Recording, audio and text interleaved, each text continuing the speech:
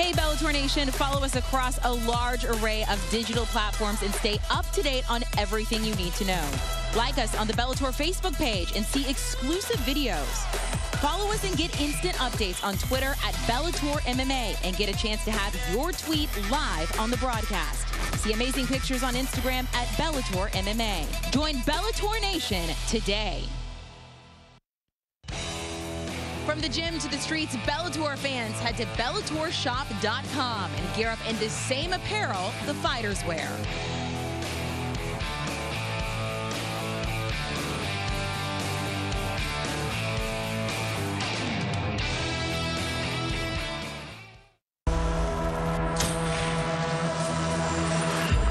From the front lines to the Bellator cage, no one has been more battle-tested than Yaroslav Amosov. One year ago, the welterweight world champion traded his gloves for guns to help defend his homeland of Ukraine. Today, that conflict continues as his country fights on. But Amosov, with the urging of his fellow soldiers, has come back to defend his world title and the sport's best 26-fight unbeaten streak. On his return, he faces a familiar foe, one who nearly snapped the streak back in 2020, Logan Storm Storley. During the champion's absence, Storley earned an interim belt by defeating the elusive and electric Michael Venom Page. Logan Storm Storley. Storley's dominant wrestling has put him in prime position to claim the welterweight throne. But to do so, he must conquer Amosov, the only man to beat Amosov. Amosov's narrow split decision victory has left Storley fueled by one goal, redemption. You know, I'm not just a wrestler. That first fight, I was just a wrestler. And this fight, uh, you know, I'm a, I'm a complete fighter. For me, this, this is the one I wanted. This is the one that means the most. So now, the stage is set for two of Bellator's best to settle the score.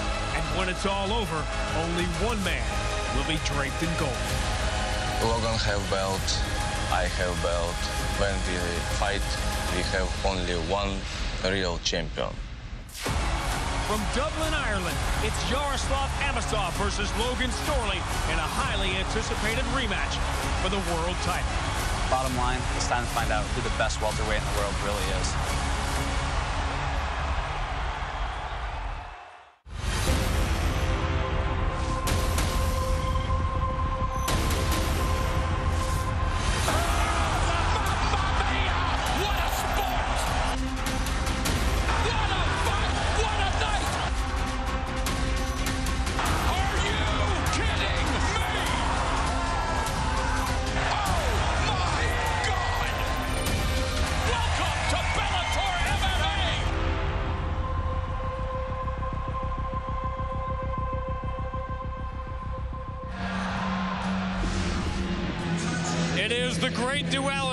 The spectacular city of Dublin, Ireland, the serenity of the Hayferty Bridge, in direct contrast with what is quickly becoming the centerpiece of European MMA, the Three Arena, where once inside, as you are now, you'll meet the raucous crowd that has become legend themselves. Yeah, so good, so good. But tonight, even they take a back seat. One of the most compelling stories in all of sport now finally takes center stage. One man who answered the call of his sport and the other who answered the call of his country. Tonight we get the answer we've been waiting for. Which one of the men's tonight is the undisputed welterweight world champion? Goosebumps already. It is great to see you. I'm Sean Grande. It is every fighter's dream to become the world champion. Why? Think of the enormity. Champion of the whole wide world. But the world has never been smaller. It's delivered instantly to our homes and our tablets and our phones. Maybe that's why this story has touched so many people. For nine years, Yaroslav Amosov, for 25 fights and 25 wins, chased to be around the world to become the champion of it until he finally did. He made his dream come true, but as he sat on top of the world, his own world crumbled. And instead of defending a world title, he returned home he returns to the Bellator cage. Amazing atmosphere, topped only by this amazing story, John. You have seen everything there is to see in this sport. You were a midwife at its birth, yet we have never seen anything like this. No, and you take a look, you know, this is sport, and sport is important because it gives a relief from what's happening in the real world at the time about what Yaroslav Amosov did. He took his family, he drove 36 hours to put them in a position to be safe, and then drove 36 hours back to put himself in a position of danger because he joined right away to try to protect his country from a foreign invader. Soldiers are the reason he's back. His own soldiers are the ones that told him, we get more out of seeing you be victorious in what you do. That gives us more strength, more morale boost. We want you to go back. He finally did, and now we're here. It's a story that has dominated the headlines, the sidebar story, we'd be talking about as a spectacular rematch because the only loss these two fighters have is the one Amosov put on Storley a couple of years back. Look at 41 fights. We have 40 victories out of these two guys. And Logan Storley has done nothing but be almost perfect. He has been fantastic. His wrestling has translated to MMA so well. And this is this is mixed martial arts. You'll see people that go, well, I don't like he wrestles too much. Then stop him. And they can't. Yaroslav Amosov is the only guy that has stopped his wrestling.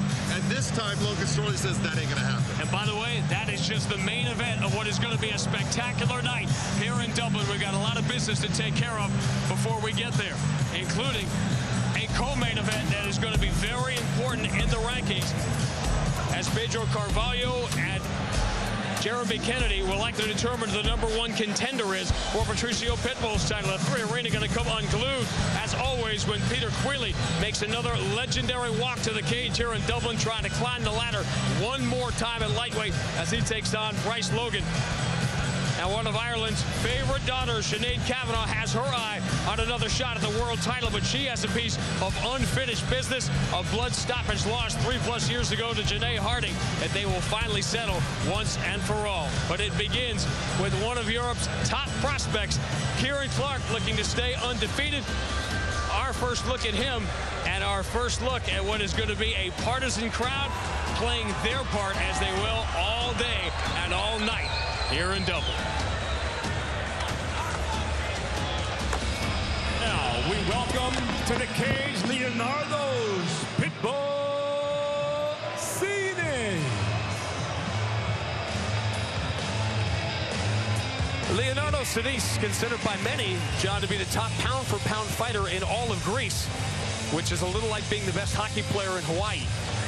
But someone has to come first. And, John, this could be a tricky late change for Kieran Clark. This is a tricky late change because the, the opponent himself, I am telling you, Sinise is a guy very tough, does not stop. He's got a very good submission game. Does he have the game that can stop Kieran Clark? That's the question, but there's no doubt he's not going to give in.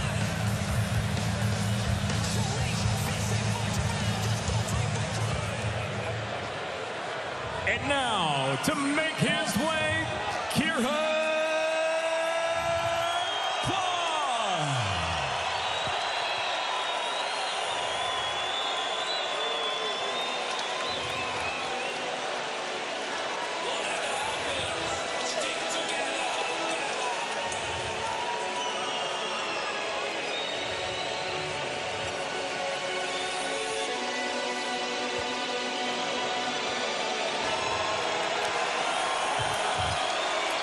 That's milking the crowd. Trying to fluster Kieran Clark with a curveball or a late opponent change or catch weight. Good luck, as he has simply been through too much at an impossibly young age. When he and his brother were teenagers, they didn't have driver's licenses or a car for that matter. They had to figure out how to navigate the 45 miles to Dublin and SBG. But they found a way. They studied at the feet of the master. And boy, Kieran Clark is rising like a meteor these days. Well, the thing about Kieran Clark that is so special is you look at that 6-0 record and you think, okay, young fighter, and he is, but he's got a ton of experience because he has over 25 amateur fights because he was learning back then, and he didn't make the move to professional until he was ready, and he's proved with this 6-0 record, he is absolutely ready. He has been fantastic, and it has been the ground that has been his sweet spot. He gets your back, and he is going after a series that he has in store. The choke will happen. He'll go palm to palm. He'll go rear naked. He goes after all kinds of chokes from all positions because at this point, his ground game is that good. A slow starter, but he finishes strong. Let's check out the tale of the tape in the opener. Normally this would be a featherweight matchup, and that's why the weights are shown because because of the late draw of Sinise, 146.4 and 148.8 for Leonardo's.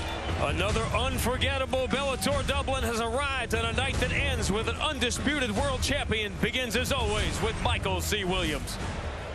Ladies and gentlemen, good evening and welcome to 3 Arena for Bellator MMA live on Showtime. From Dublin, Ireland, we extend a special welcome to the brave men and women serving around the world and joining us on AFN, the American Forces Network. And now, Bellator 291 gets underway with a 149-pound contract weight fight set for three five-minute rounds introducing the blue corner at 5 foot 8, weighing in 148.8 pound in his Bellator debut. He brings 11 professional victories, 5 losses, 1 draw from Thessaloniki, Greece, presenting Leonardo's Pitbull.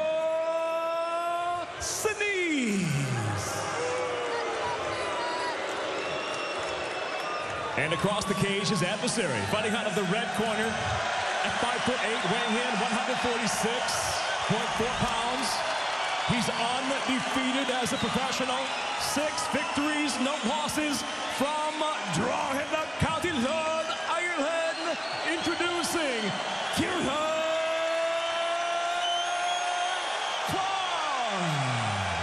If they sang Sweet Caroline at the when the Coliseum, rings, this the is what it would be like. In charge, Brian Miner. And these are the unified rules. Brian Miner will be officiating. You know anything about these? Or? A little bit. We go off the 10-point must system. That means that the winner will be awarded 10 points, to the opponent 9 points or less. That is based upon effective striking, grappling, meaning that whichever one took place the most, that's what they're looking for, and damage. Then it goes to aggressiveness and cage control. Our feature bouts are all three five-minute rounds, with our championship bout being five five-minute rounds. You know, people will make up their own rules on social media anyway, so it doesn't matter. This is you- true. Now, Sinise with all the experience, but he clearly struggled trying to make the lower weight. It was pretty obvious when we saw him yesterday. Well, he came in with a week and a half notice because the original opponent dropped out. So when you get into that contracted weight, the fact that he was, you know, working towards getting it, I give him all the credit in the world. Now, keep in mind, Kieran Clark has been criticized for some slow starts. He's gotten dropped in first rounds. So that is a point of emphasis here to get a better start. Toes on the mat right remains. Carrying your weight. And we're looking for the chance for the elbows. This is the place that Kieran Clark feels very comfortable. If he is on the ground, he is a happy man. And if he's in the top position, he's incredibly happy because he does damage with ground and pound and he moves himself to better positions throughout the round and tries to go for the submissions. Here it comes. It's going to open the scramble. Let's keep driving We in. Talked to so many of these fighters, Peter Queally and Kieran Clark and Pedro Carvalho, about fighting in front of this crowd. It's a blessing. It can be a curse, too, if you let it get to you, because we've seen fighters, especially John, younger fighters, really feel the pressure to perform. Absolutely, but the one that I will really give credit to is Kieran Clark is so used to fighting in front of a crowd. He just feeds off of it, and he builds off of it. And here in this fight, he has started much faster than we've seen him in the past. He wants to travel the world like most young fighters. He wants to fight in the U.S. There is no substitute for this crowd.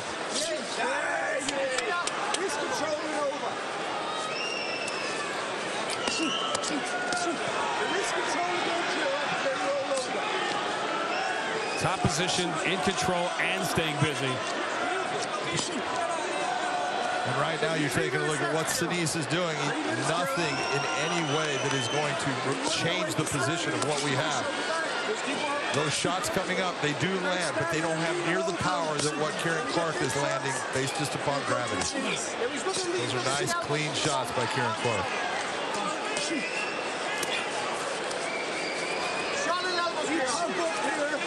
Sinise has been unable to change this position. This has been this is going on two minutes now.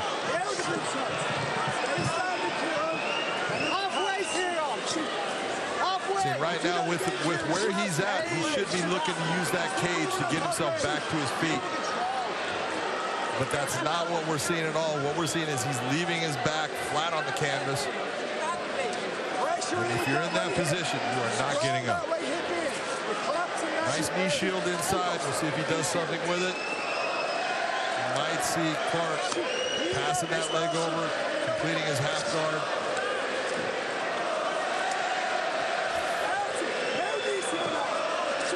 Just a much better start than we have seen from Kieran Clark. His, his numbers will indicate, again, it's the not as much the volume, but the quality of the strikes. Yeah, and this is, you know, well, both are striking. Yes, they are. But I'll be the top man all day long while you hit me from the bottom. No problem. Toes out of cage. Can't put the toes in the cage as Brian Miner calls Sinise on. Heavy hammer fists from Clark. Nice job knee on belly for a while there by Clark. Goes right back to it. Now into right. the mount. Into mount. Didn't have a lot of room to work, but he snuck that in there. Can he get the distance to drop those fists? It looks like he can. And he's doing a great job of keeping posture right here. Notice. Well, we're getting Heavy close shots. to checkmate here.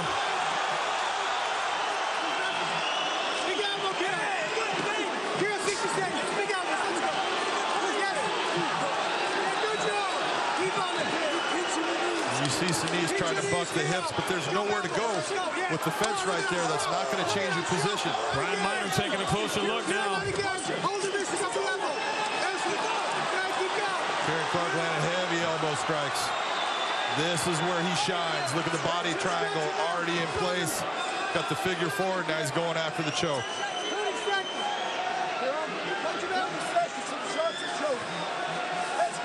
His fans and his coaches wanted a better first round from Kieran Clark. Instead, what they got is a dominant first round. 15 seconds, Kieran.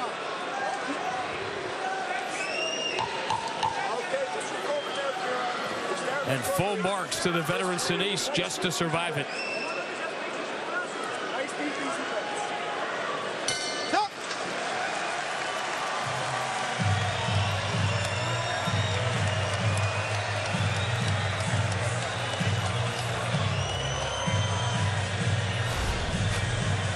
Take.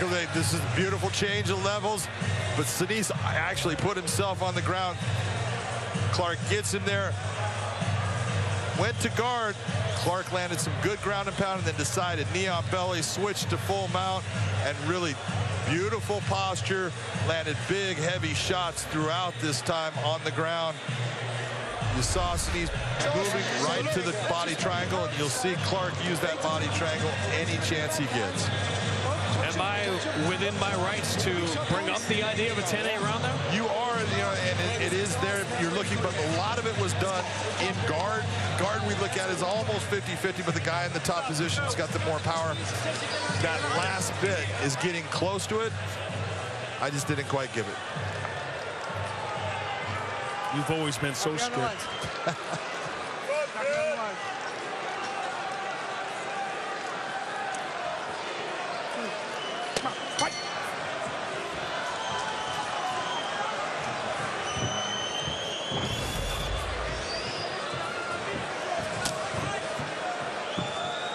Sinise, like a lot of fighters, particularly in Europe, having a difficult time staying active during COVID. Fourth fight in the last five years. Ooh, nice Oh, left that's hand. great. Beautiful left hand by Kieran Clark. Right to right mount. into mount. 30 seconds into the round.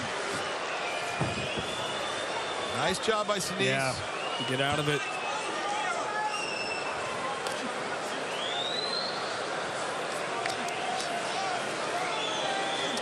Three straight finishes for Kieran Clark in the 6-0 start.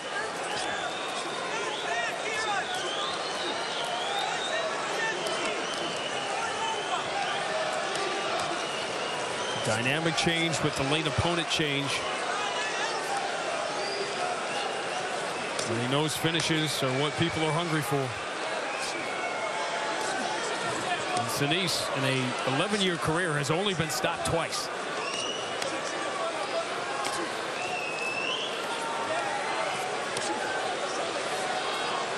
Sinise working real hard right now, but cannot stay in this position right here. You've got to say, I've got to move because really, he's mounted. It's just low mount. The legs are pressed together. It's just that Kieran has his weight far back. He's not sitting more towards the, the diaphragm and chest area. He's got all of his weight back controlling the legs. And this is a great example of what we're talking about, about you could say these are 20 landed strikes from the top and 20 landed from the bottom, but that's a huge difference in real life. Exactly. Nice elbow strikes by Sinise. He's trying, but it's, it's more just arm. There's not a whole lot that's behind it. By the way, if I said the name Jessica Koizumi, do you know who that is? Probably not, right? I do not. She's the best hockey player ever from Hawaii. Huh. Just want to make sure before we get before we get tweets. Okay. I don't know where you came up with that one, but you just proved yourself right. I had a long flight. Kevin McDonald's and I. But Clark still working.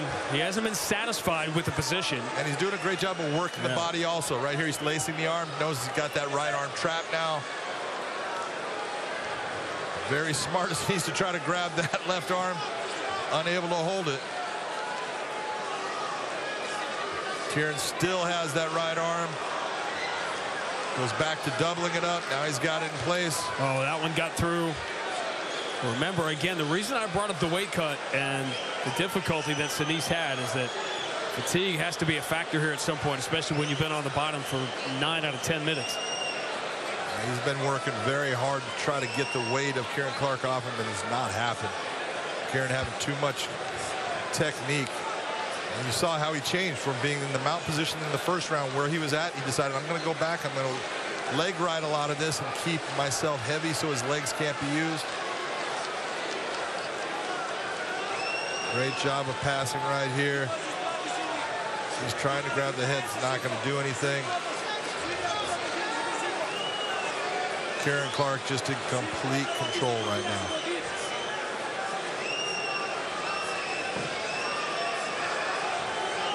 There you go, pressing that leg down. More like a three-quarter mount. Well, Sinise has just been caught in the rain without an umbrella, and he takes a couple more big shots here. He's taken a lot. He hasn't been one of the one thing out of watching his fights. The guy has no quit in him. He will continue to take shots. He is not in any way going to ever just give in. You've got to stop it.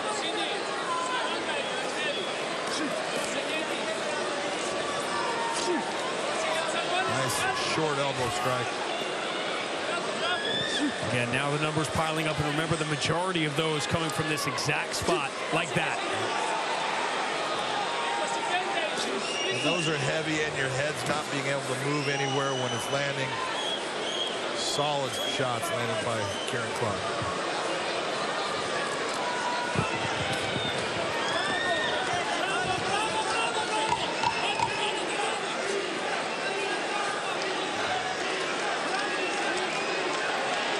Now Clark from a north-south position finishing round two. He's been a third-round finisher, and that's where we're headed. Now get up on his arm.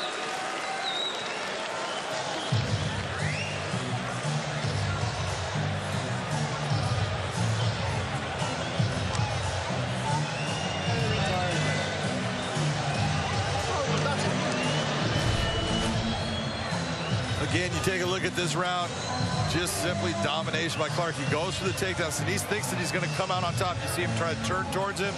Clark already has a leg in position. He's already putting weight.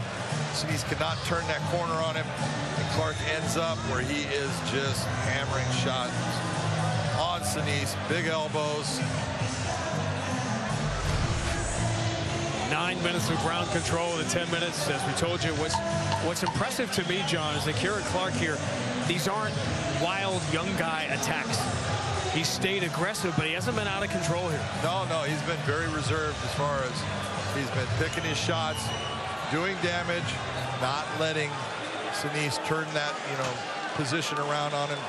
Smart fighting. That's why he's ahead easily 2-0.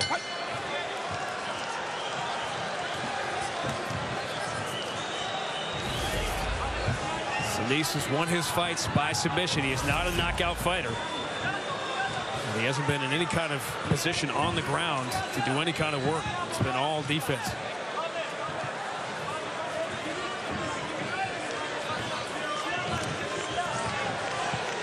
You all right? Clark almost I Time, think, time, yeah. time, time. You good? You sure? All right. Time in. Come on, quick.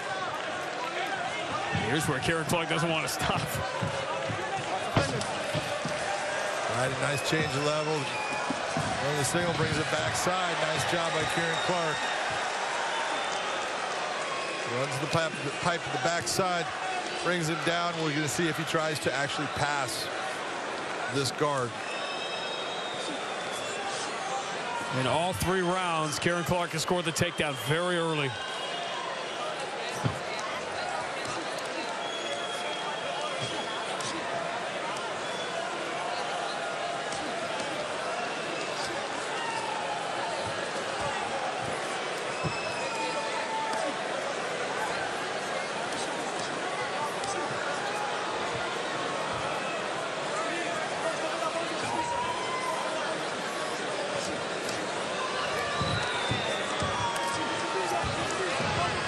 There goes Clark. Nice job by Sinise putting back from half guard into full guard. But there's nothing that Sinise is doing that's going to change the flow of where this fight is directed. All these little shots are not going to do any type of damage to Kieran Clark to stop what he's able to do back.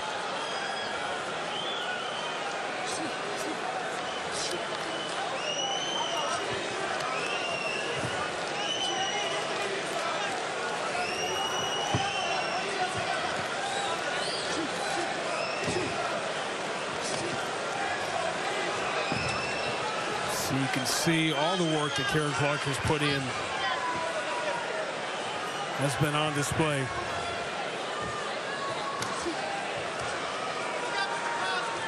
Nice job of trying to knee shield by Sinise when he comes up. That's why Clark comes back down on him.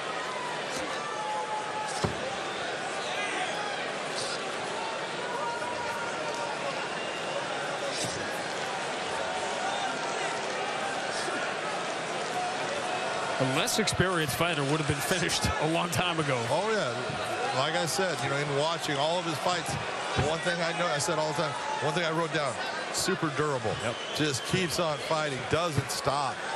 You know, doesn't get affected by things, and that's really impressive as far as he's tough.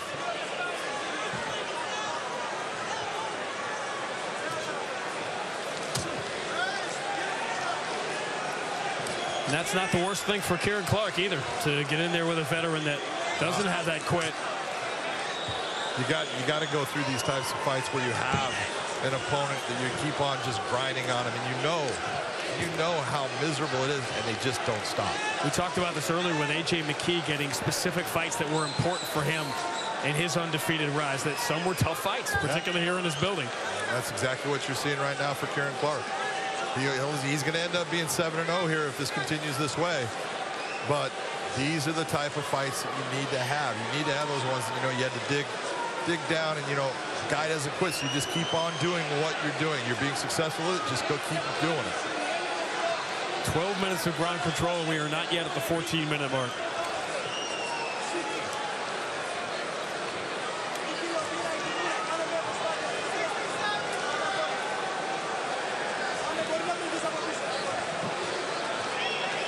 In some ways, you ask yourself, what's more impressive against a veteran, a 30-second win or 15 minutes of pure dominance?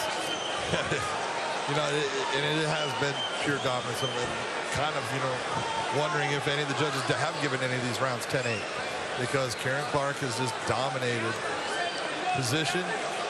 Hasn't really done damage. And that's what you're really looking. I want to see damage to say that I'm going to give that 10-8 round.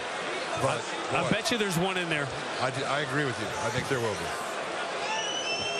There's going to be a 26 on one of these scorecards.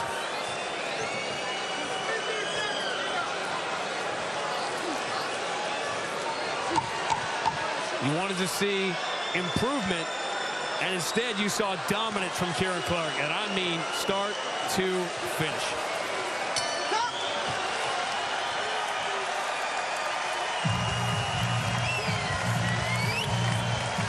That's undoubtedly Kieran Clark thanking him for taking the fight Yep. on short notice. That's a tough spot to walk into, man.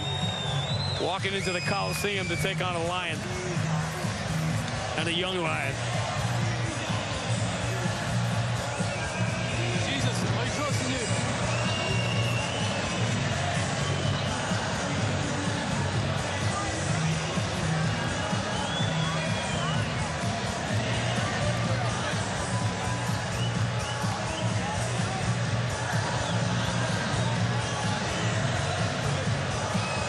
The name if you don't know it. Kieran Clark. 7-0 goes the distance for the third time. A tough veteran made him work.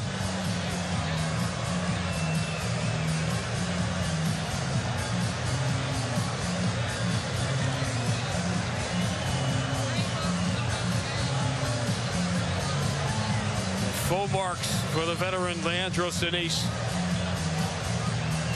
It's a tough fight to take on short notice and an even tougher 15 rounds to fight through.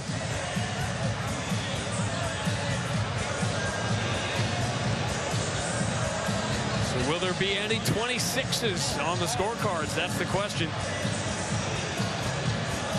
Michael C. Williams about to give us the answer.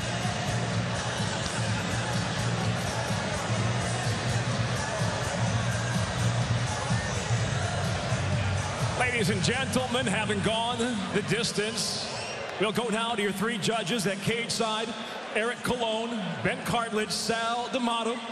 All have it exactly the same at 30 to 26. All for the winner by unanimous decision. Kira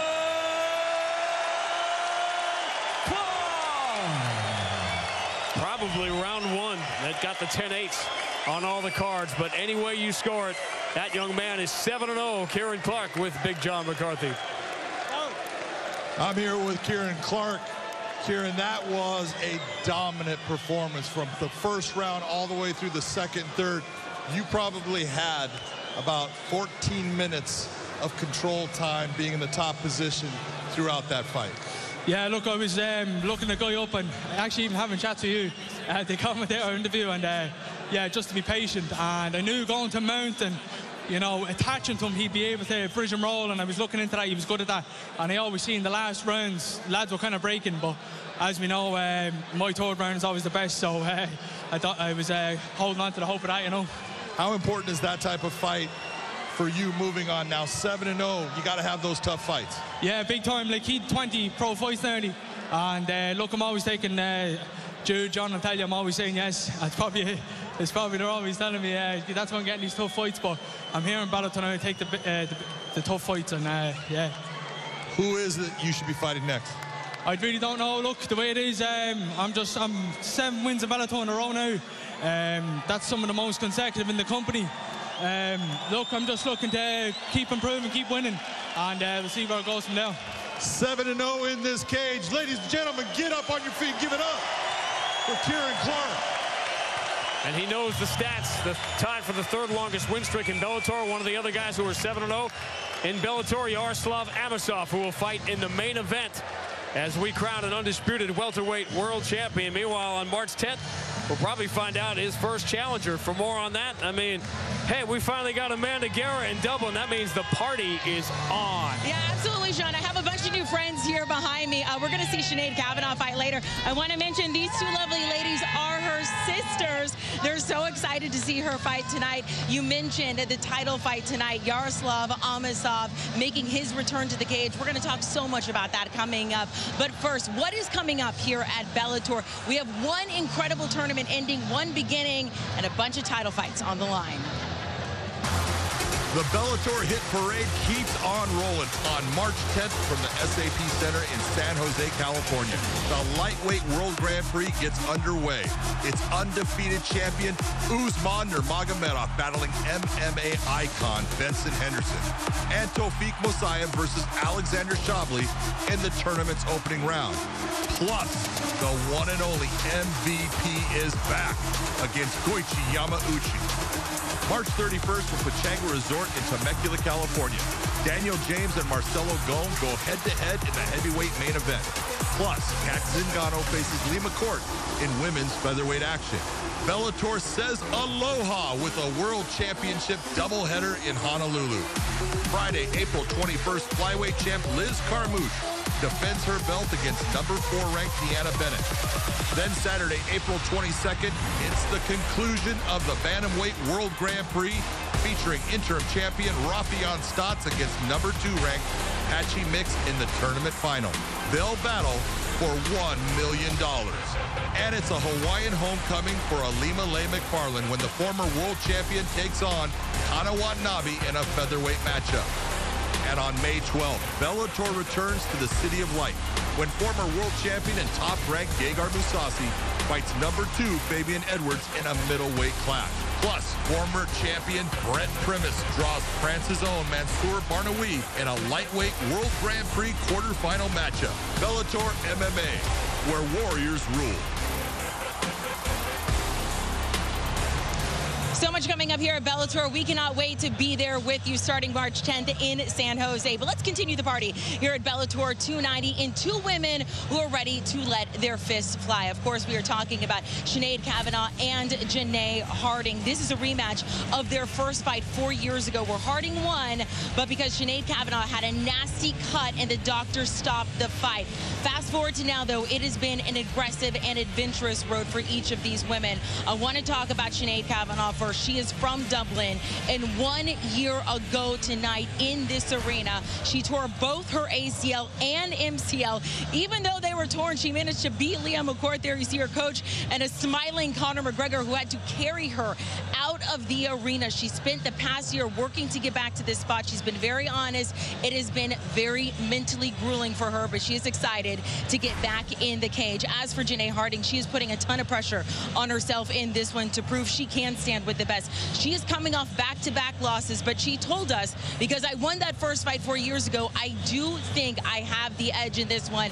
It is going to be an incredible fight. Sean, let's send it back to you. Yeah, man, amazing pictures. The life of a fighter, man. Sinead Kavanagh has had to overcome obstacles in Bellator her entire life. She's had to overcome, try to overcome the world champion Cris Cyborg, whom she finds for a rematch, the ACL, which you saw in that pebble in her shoe, that only stoppage loss very much against her will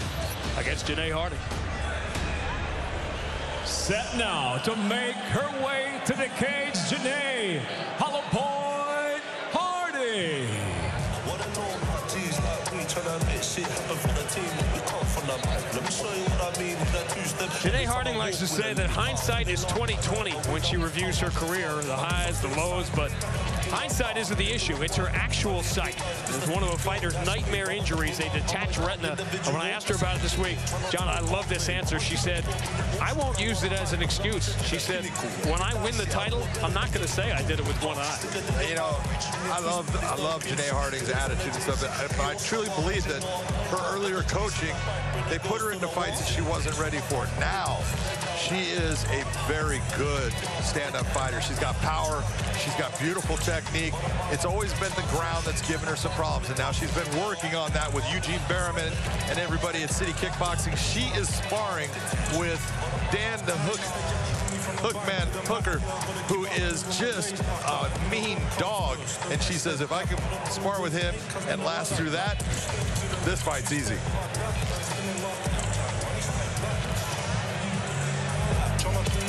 And ready now to make her way, Sinead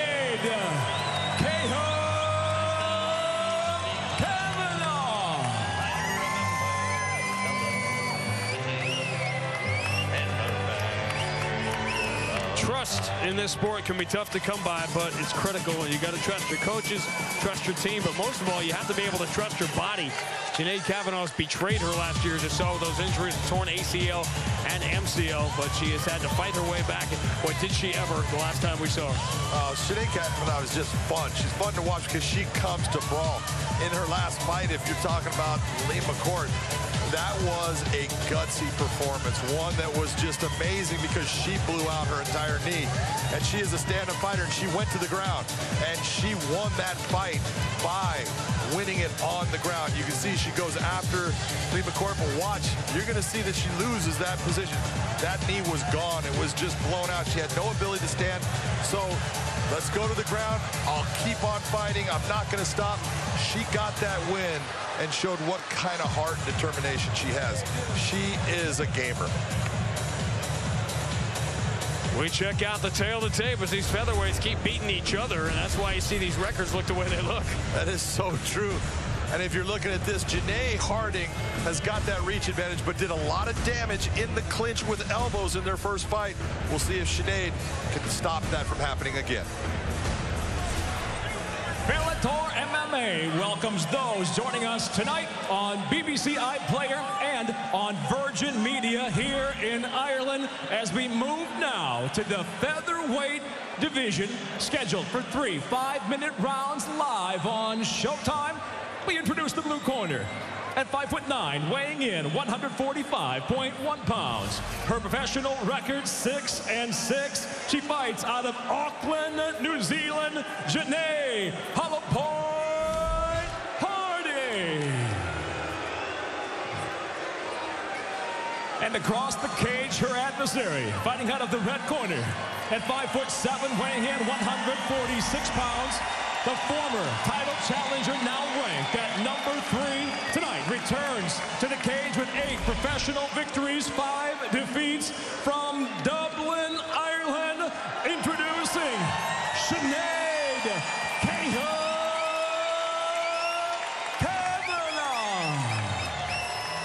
In charge, your referee Kevin McDonald.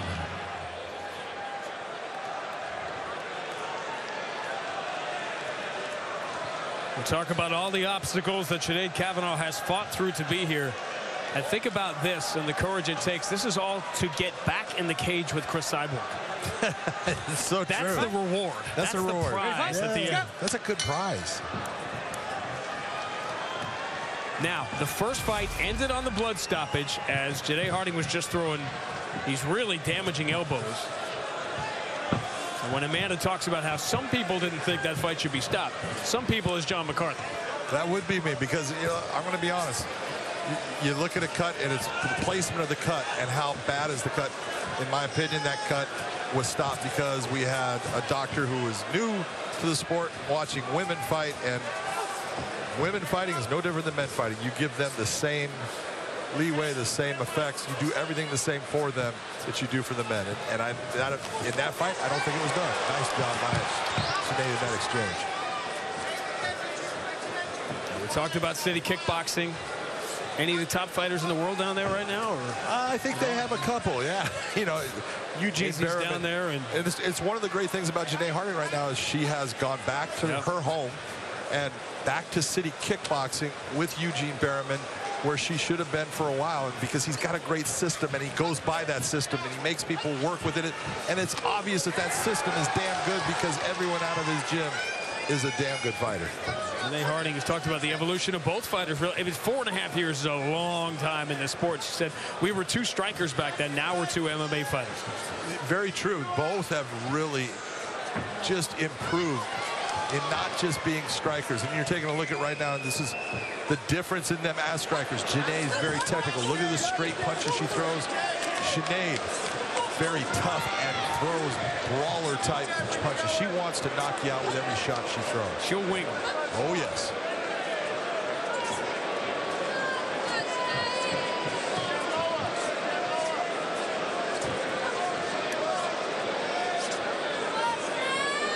Sinead Kavanagh was getting the better of the exchanges in that fight, and then that the elbow started, and one of them just caught Sinead Kavanagh over that right eye, which is why I think the doctor, right or wrong, wherever you stand on it, sure, uh, he stopped it because it was over the eye and it was bleeding into her eye. And I think that's probably what caused the stoppage. But at the time of the stoppage, it wasn't bleeding because it had just been stopped by Well, the cut man, and that's what the cut man's there for. That's the point. He didn't give the cut man a chance Yes. to stop it, and that was what was significant about the stoppage.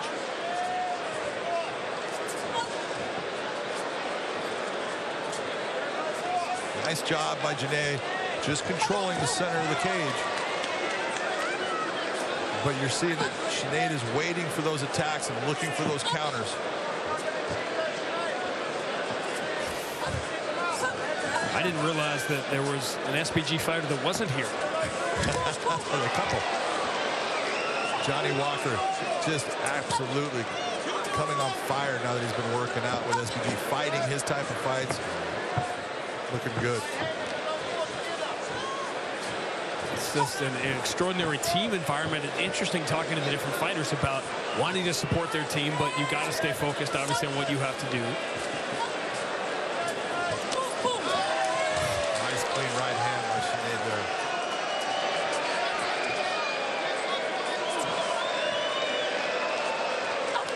It's hard to look a little bit like a different fighter to you than She looks a lot more comfortable. yeah.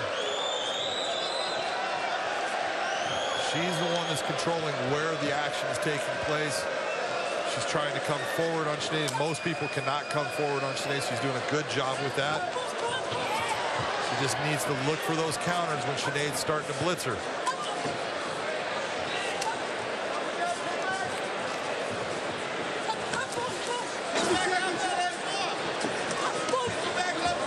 That's something that really needs to be brought out. Attacking the body by both women. Again, nice left hand. The left hand by Sinead has really been finding its mark.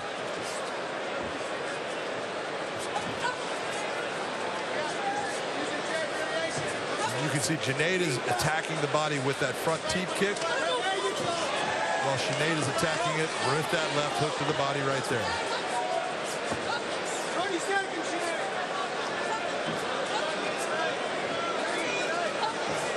Today Harding has struggled on the ground, and yet it's going to take an awful lot. It seems impossible to convince Sinead Kavanagh to fight that way. I mean, there's no way you're going to do it. Yeah, yeah, she she got to blow out her knee to, for it to happen.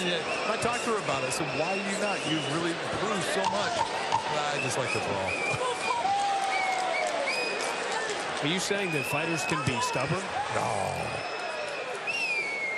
Oh, That's the best shot of the round for Harding as it comes to an end. Good first round.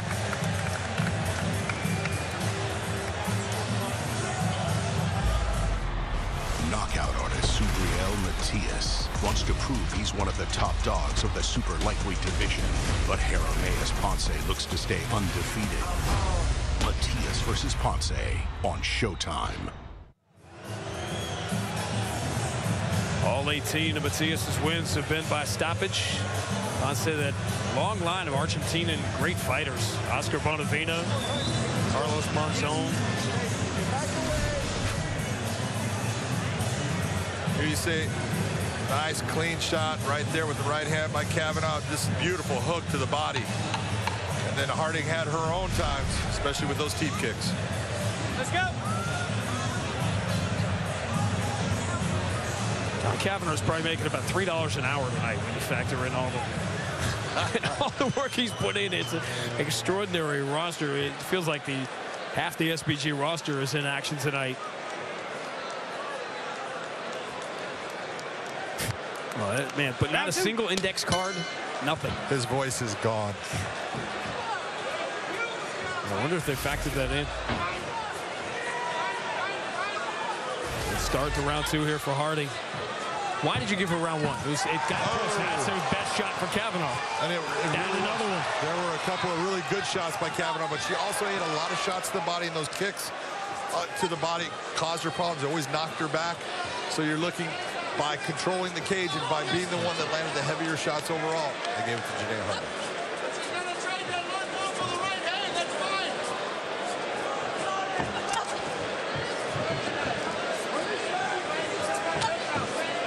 Don't know about these kicks landing or you know, how many she's putting in the bank and what Sinead Kavanagh is feeling. Is she moving as well as she was at the start of round one? So much work just to trust those knees, that knee again. This is what Sinead needs to do. She needs to force Janay to be the one that's having to move laterally, not coming forward. Make her feel uncomfortable with the pressure.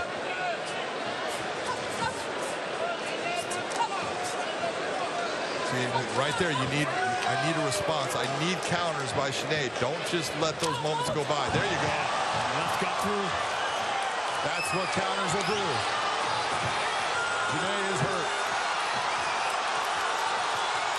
Nice movement. Still coming forward.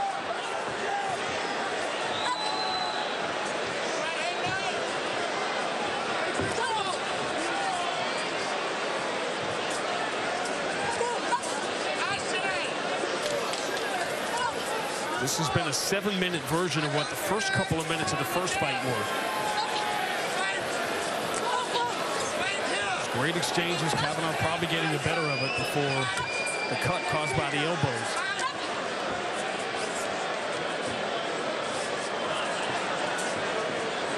What are you seeing by Sinead right now?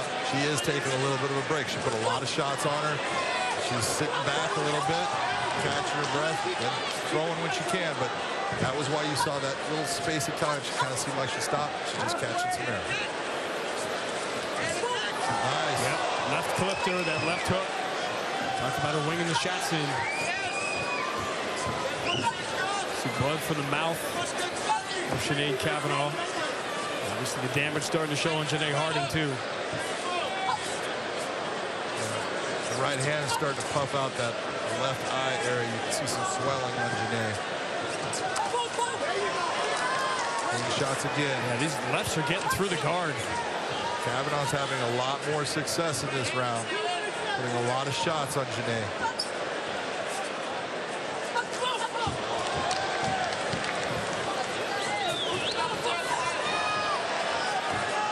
And you're seeing a difference in the confidence.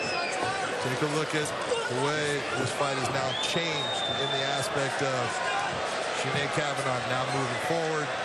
Janae trying to get some distance at times back against the cage. Just what you said, she's forcing Janay Harding now to move laterally and she can't get those front kicks. That's it.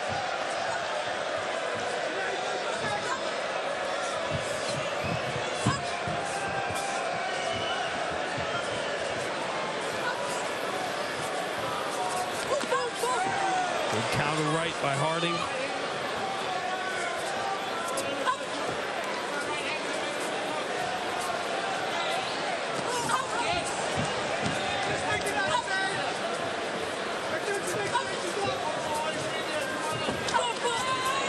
Nice counter strikes.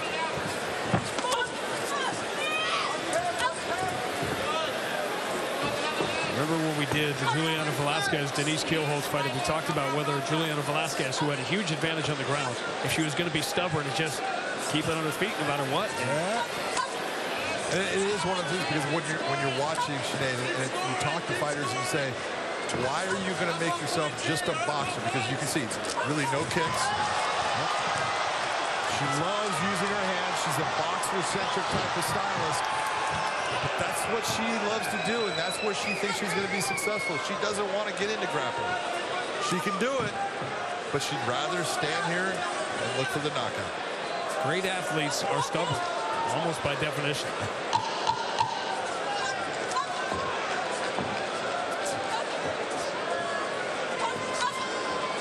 Big round two for Sinead Kavanagh. Big one.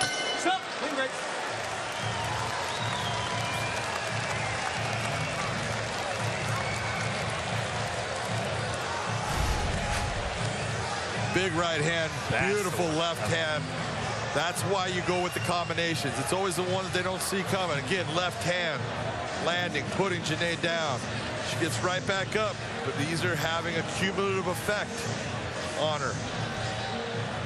Janay having a lot of success with those shots. You see Janay losing her balance there. Clean right hand. Little, getting a little bit too close, crushing the space a little bit too much, but fantastic round for Sinead Kavanagh. How many times, Don, have we said over and over again about fighters, male or female, just throwing one shot and not throwing that combination? Sinead Kavanagh just demonstrated viscerally what happens when you throw two at a time. Multiples, exactly.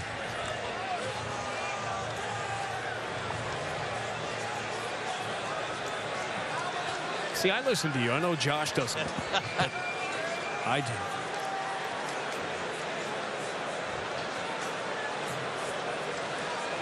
Third and five.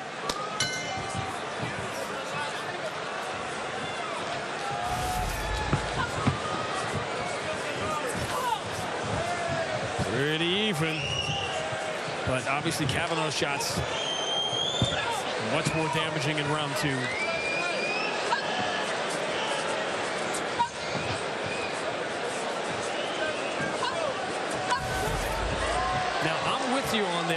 I'm not completely convinced that all three judges saw the first round for Harding. No, I, I it, this definitely, it was a very close round. And it's a matter of what's wrong with our scoring system is obviously the round won by Sinead Kavanagh. The second was she won it way easier than what would have been if you gave it round to Harding in the first. So, you know, there's no doubt she's winning the fight. But as we have scorecards and rounds, it might be even. You already owe me a monster energy on those 26s from the first fight. Slower pace here to start round three.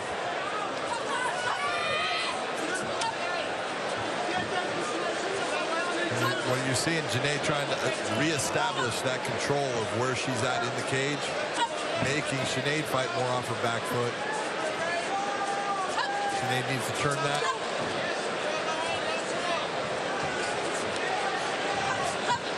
Again, as we were talking about, when, when you're fighting with just one style, you're being a boxer, you're making it easier on your opponent because they only have to deal with one element instead of everything. You, you brought up Josh Thomson. What made Josh Thomson a great fighter is he would wrestle with you, he would kick, he would strike. He did the entire game, submission, and that makes him difficult to deal with. The more that you go towards just one style, the easier you become for your opponent. You know, I don't want to say anything nice about him because he might be listening, but remember, when he did that, guys weren't doing that yet. That was ahead of its time. Exactly.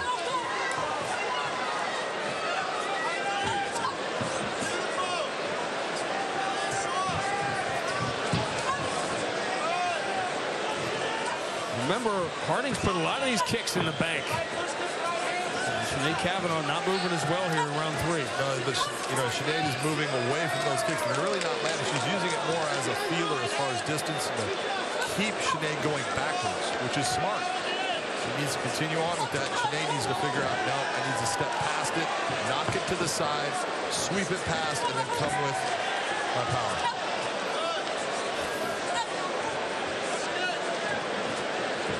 61 goes. It's the degree, particularly early, particularly in that first round. Those are the ones I was talking about.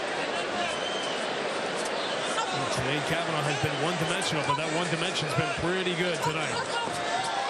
Again, left in the combination. Second of the ones again. See those right there? You see the, it has impact and it has effect. And that's what you're looking for. Right now, when Sinead is hitting Janay, it is affecting her.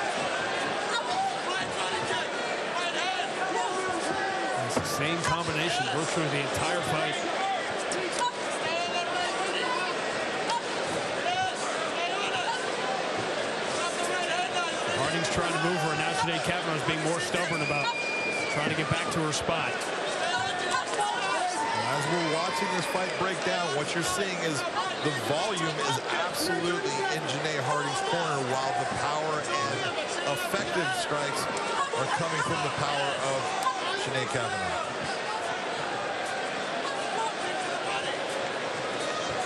A rematch four and a half years in the making, and it did not disappoint.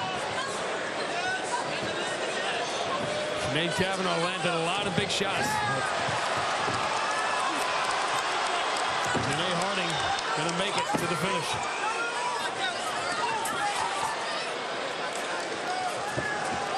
That was good stuff.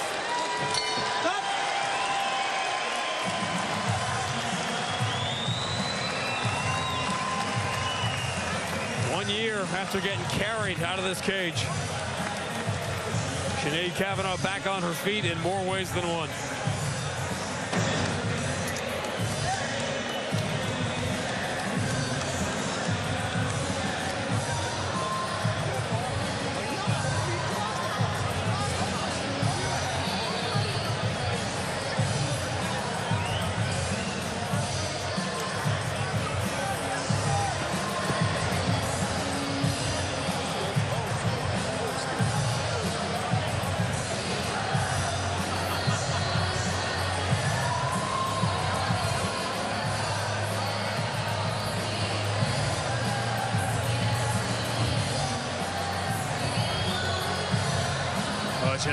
Took some big shots from Sinead Kavanagh, particularly in round number two, which is where the fight turned. First round and the third round were pretty subjective, and it really depends on how you how you score it, how you judge it. Well, still a little bit of suspense. High stakes. Sinead Kavanagh ranked third in the division needs this win.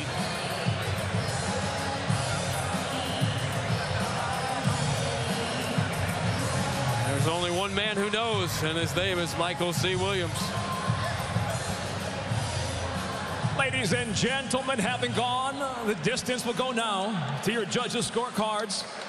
Your first judge, Sal D'Amato, scores the fight 30 to 27, while judges Marcel Varela and Paul Sutherland both see it the same 29 to 28. All have it for the winner by unanimous decision, Sinead Cahill.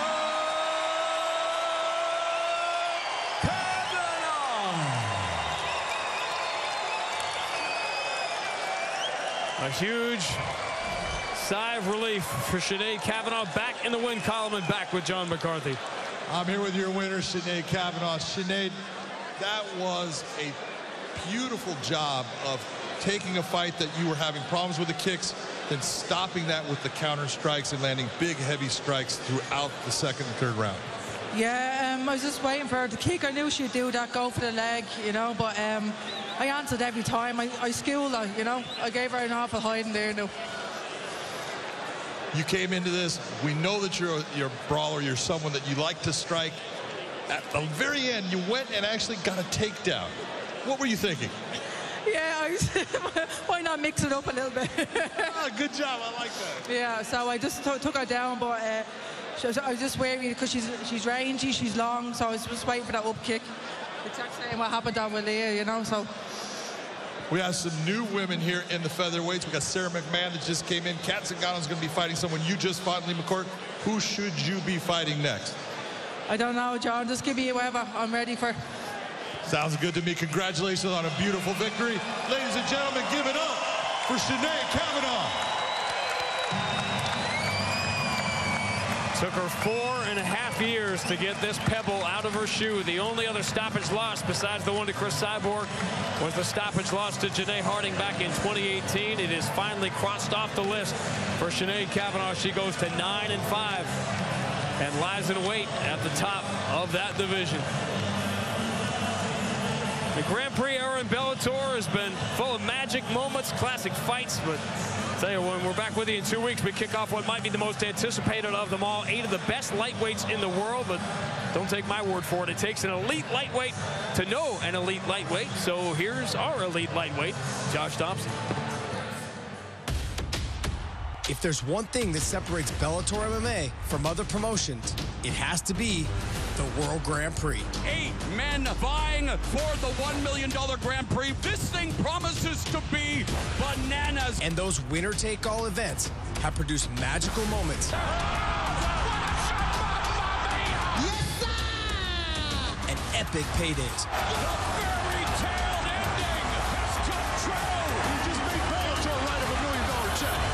Bellator's best.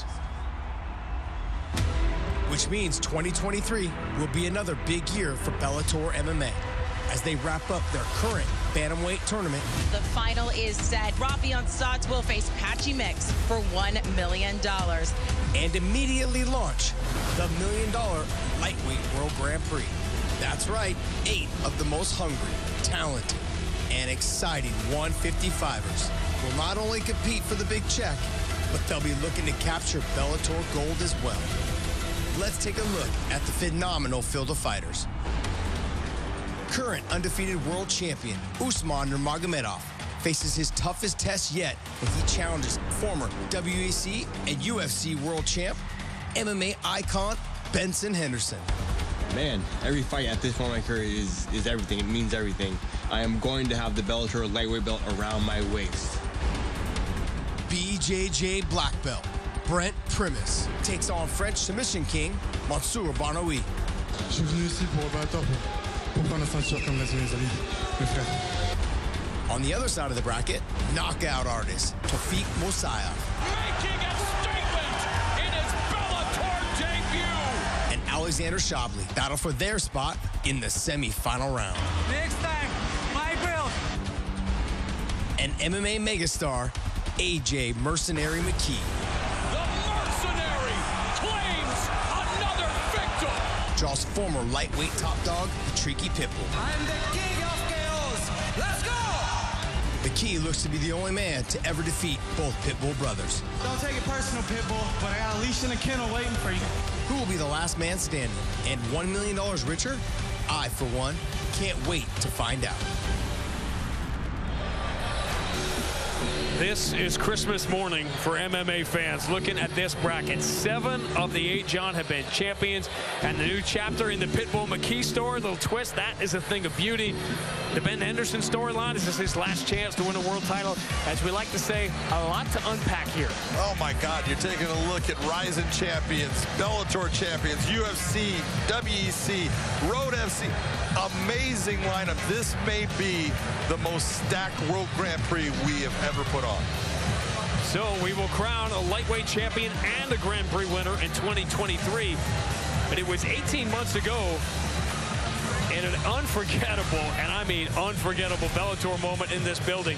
Peter Queally challenged Patricky Pitbull for the lightweight world title, his second of three consecutive fights against world champions. Tonight, his road back begins.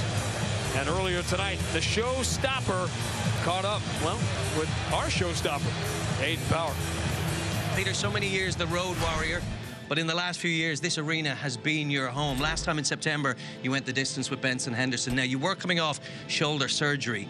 How's the body this time around, and has it helped your preparation? Made it more straightforward for your challenge against Bryce Logan tonight? Two shoulder surgeries and a bicep surgery. I'm over them. I'm ready for tonight. I want to kill Bryce Logan. Stylistically, this is a great matchup for the fans. Why do you believe it is for you? Um, we kind of fight similar, but I think I'm just a bit better than him everywhere else. We, we, both like going forward. We both like the fight. We're not trying to score points. We're not trying to get get to the grind out the clock. Um, but I just think I'm a little bit better than him in all these areas. Will the walkout tonight last longer than the fight? Let's hope not, but we never know. I got to ask you about that walkout. It's so special to watch on TV, even more special inside the arena. Can you give us some insight what's going on in your mind and your body when you're making what is considered the greatest walk in all of combat sport? I'm just trying to enjoy it, Aiden. That's that's what I'm trying to do. I'm trying to take it in and enjoy the thing because it's not going to last forever. It's very special. I know this. I'm very lucky that it's me that gets to gets to enjoy it every time. So I just try and enjoy it. Best of skill tonight, Peter. Thank you, sir. He's tired of talking about losses, which he has been for the last year or so. It is a high-pressure, must-win kind of fight for both Peter Queally, who has a country and a building in his corner. Ready now to make his way to the cage,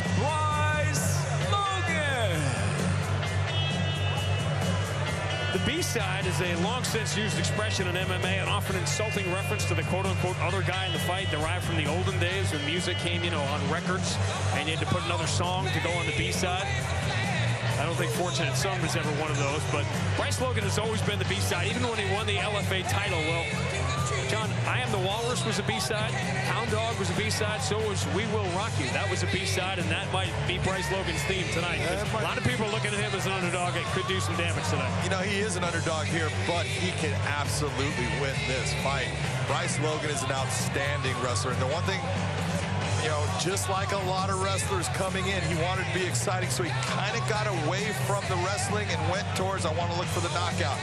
Not that he doesn't have good stand-up, but his base is wrestling, and that's where everything starts to really shine for him. He needs to go back to that. He needs to put Peter Queally on his butt, and if he's doing that, he's fighting well and he can get a win.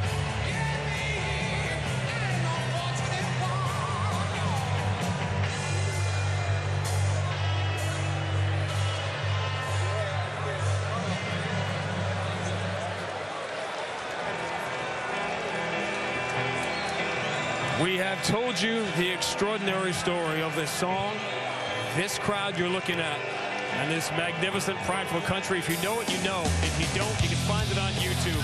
In the meantime, let's all enjoy.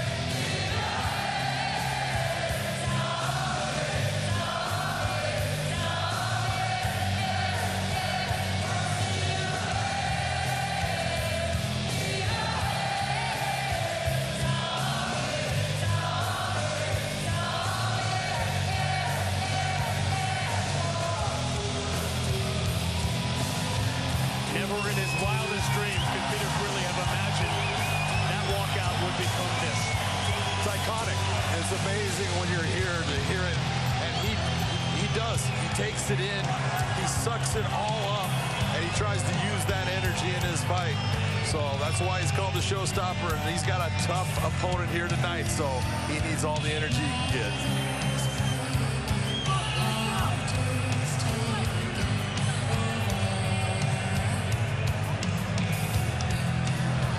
The tale of the tape and a must-win for both.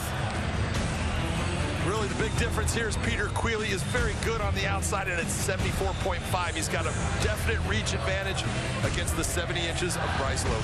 To Michael C. Williams. Live on Showtime, Bellator MMA now features the lightweight division scheduled for three five-minute rounds. We go now to the blue corner at 5'9", weighing in 155.8 pounds as a professional. 12 wins, 7 losses. He fights out of Scottsdale, Arizona by way of Dolan, South Dakota. Introducing Bryce Logan.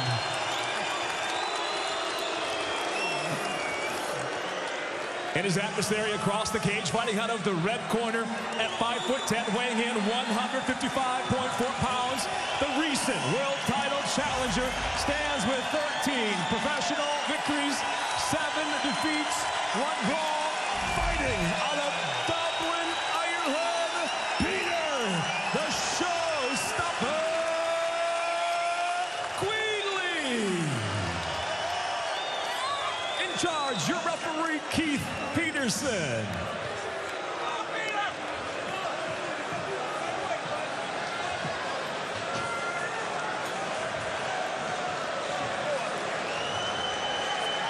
Are you ready?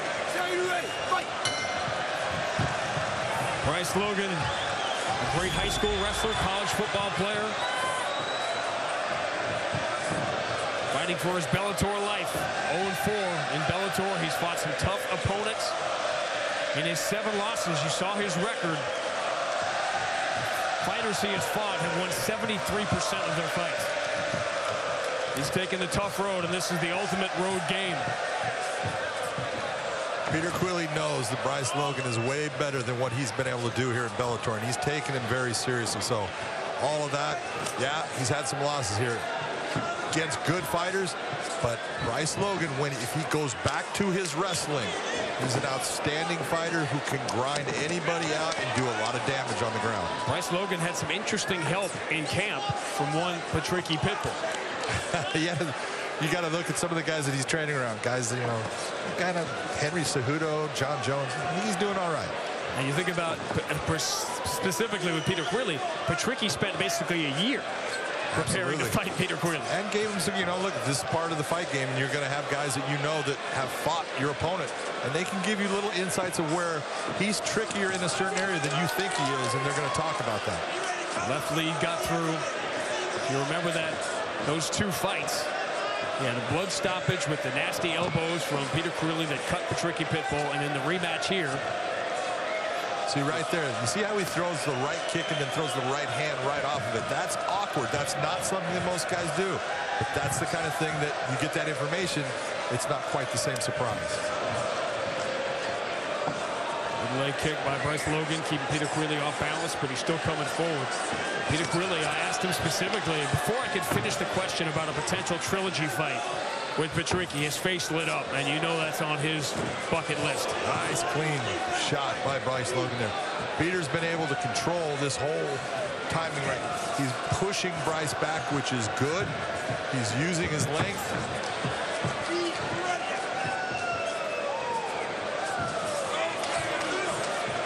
Queally followed the two Patricky fights up with the loss.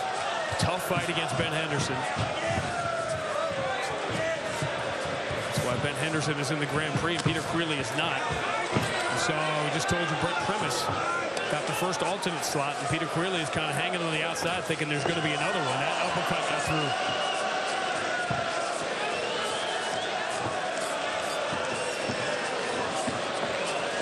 Some Queally has taken, but he has been the aggressor here for the first three minutes.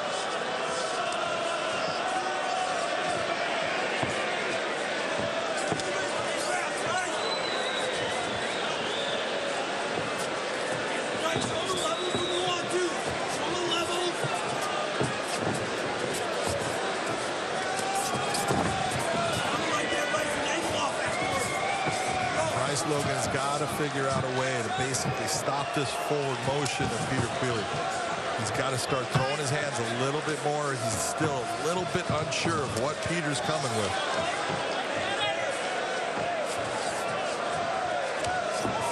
Logan, Sioux Falls, South Dakota, 75 miles away from Logan Storley. His time is approaching. As we head towards the main event for the welterweight world title.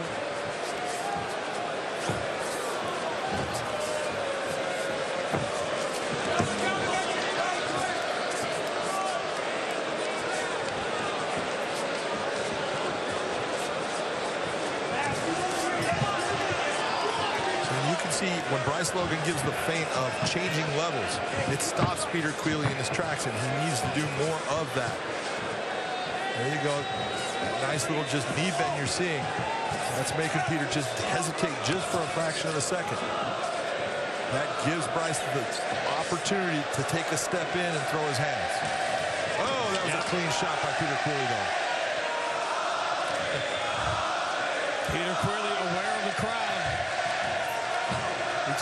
Trying to enjoy this moment. You heard him say at the 80s, been talking about it all week. He hurt him. Bryce Logan is hurt right now. And he goes for the level change, but not very effectively. Well, he got into that because he was a little bit wobbly on his legs.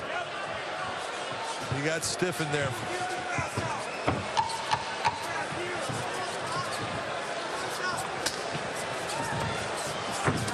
Very aggressive first round for Peter Queally.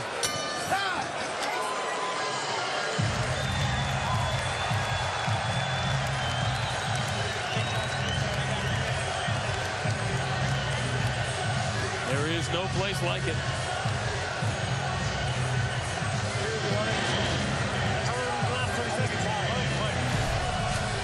Take a look right here. Peter Queally comes with that nice left hook. Bryce Logan backing off from it. Watch this little step. Missed on the second. But he definitely hurt Bryce Logan in that round. You saw Bryce have the effect. He had to step back. He had to try to collect himself. That's why he went for the takedown when he did. He needed to close the distance because he was buzzed.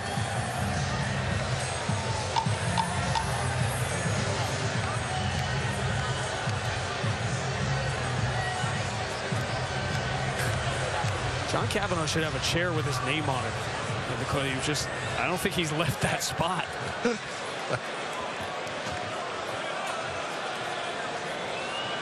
Peter Queally has one of the greatest noses in mixed ready? martial arts. Sir, you ready? Fight. That thing is a picture perfect nose for a fighter. It is the map of the world on it.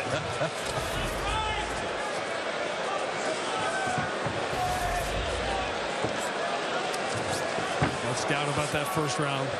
No doubt about that one at all. That was easily Peter Queally's round. And you know, he's been peppered with questions all week. Is is this a step down? Is it a must win? You know, he was like, what do you, I just fought three world champions in a row. Everything almost by definition was going to be a step down. And everything's a must win. You take a look, you know, winning solves everything. So when you're in this position, you got to win because that's what keeps you moving forward.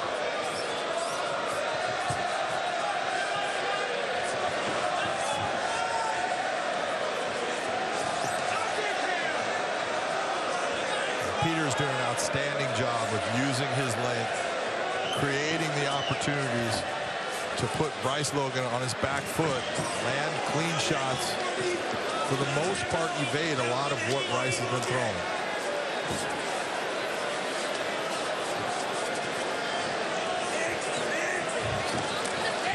We've seen a wide range of emotions from John Kavanagh tonight. The many faces. He's been pleased for the most part with the first six plus minutes for Peter Queally. If he wasn't, you'd know it.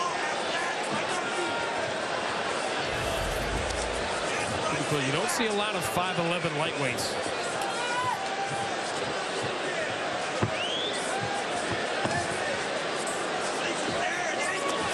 That one got through. Immediately, Bryce Logan goes to the level change.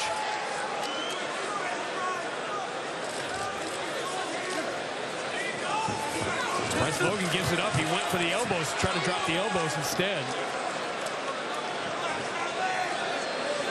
Bryce Logan on the single leg right now.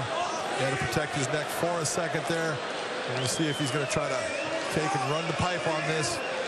Turn Peter Queally's back off of the cage. Because right now that cage is a beautiful balance point, keeping Queally basically not having to work hard to stay on his feet.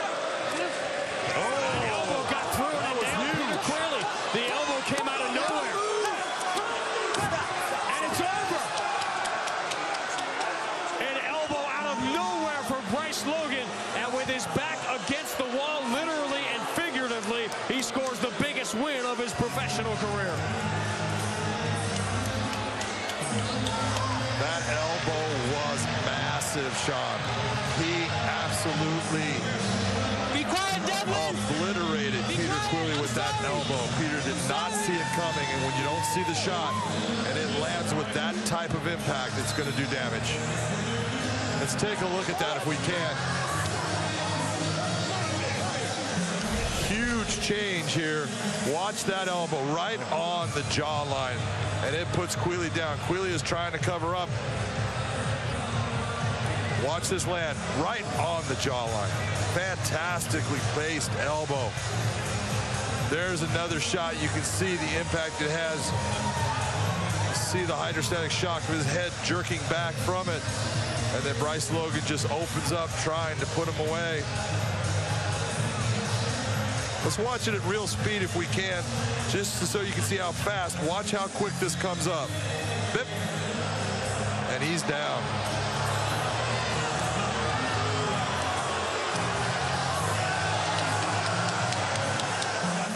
We talked about the help he got from Patricky Pitbull. Bryce Logan now becomes the second man to stop Peter Queally. Patricky being the other, also in round two, also in this same cage, in this same building.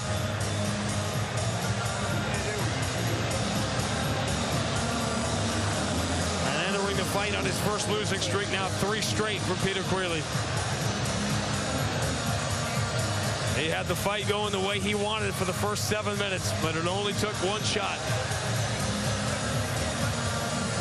That's how careers change in an instant.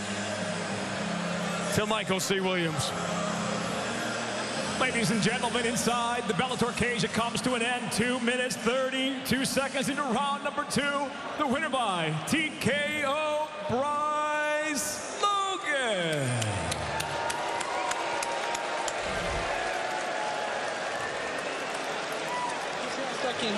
Logan. Thank you. An honor and a pleasure, says Bryce Logan, and he's talking to John McCarthy. I'm here with Bryce Logan, the winner. That was a dramatic change of events. The first round was not going your way. He actually hurt you in that round. Did a nice job of getting yourself to a safe position. Talk to me about what was the difference of what happened in that second round compared to the first. You know, I just, um, I had to stay calm. I knew he kind of stole that first round at the end. He think he caught me with a right hand. But, um, you know, there's still two rounds left. I knew I had plenty of time to work, and I was going to try to start to implement my wrestling.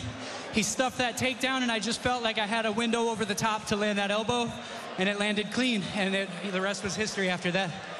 Clean is not the word. That thing landed right on the jawline, and he went down immediately.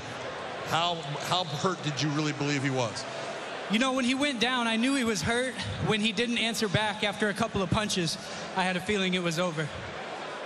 This is now your first win here in the Bellator cage. This is now putting you back in the, on the map as far as you are a name that has won the LFA title. You have come here. You fought tough competition. That's one of the toughest fighters you've ever fought. You got a big win against him. Who is it you want to fight next? Man, I, I, don't have a name. I, have, I didn't even think about it. I was so wrapped up in this opportunity and this chance that I had right here, and I knew I had to make a statement if I wanted to stick around. You know, my back was against the wall.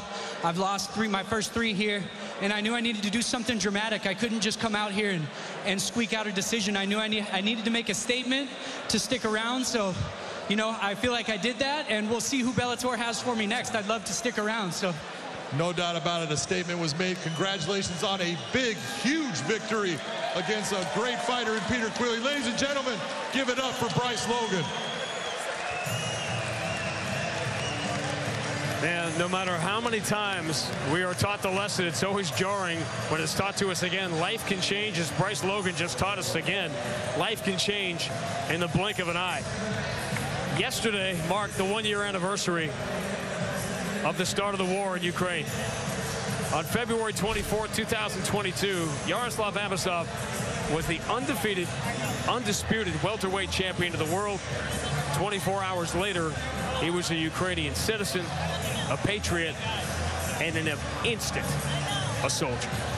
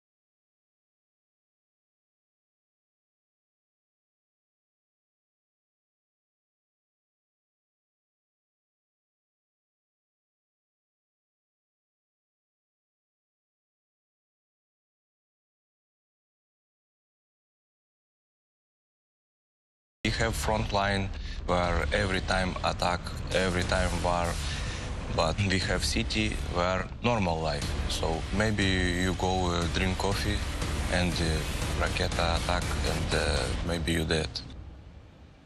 I remember uh, many many picture in my head. You see many many civil people dead, old women, kids, family. I don't know why shoot old women, why shoot kids. It's civil people, it's not army.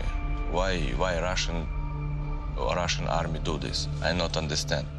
Sometimes I go sleep and uh, I close my eyes and I see this. And sometimes I no sleep.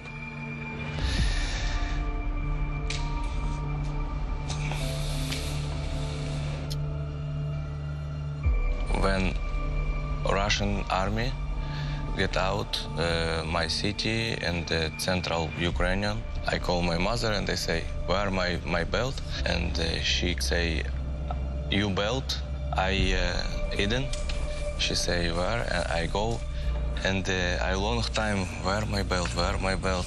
And uh, after I take my belt and uh, my friends say me, Yaroslav, you must go defense your belt. I long time think, maybe yes, maybe no, but I, many people say me, you must go, and uh, I go.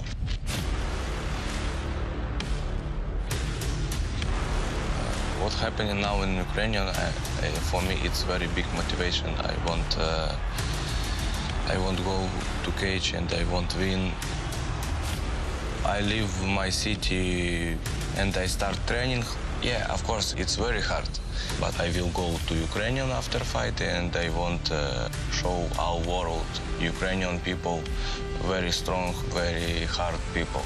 Maybe news uh, for you, one Ukrainian guy defense belt, maybe this uh, good uh, for people. I fight for them.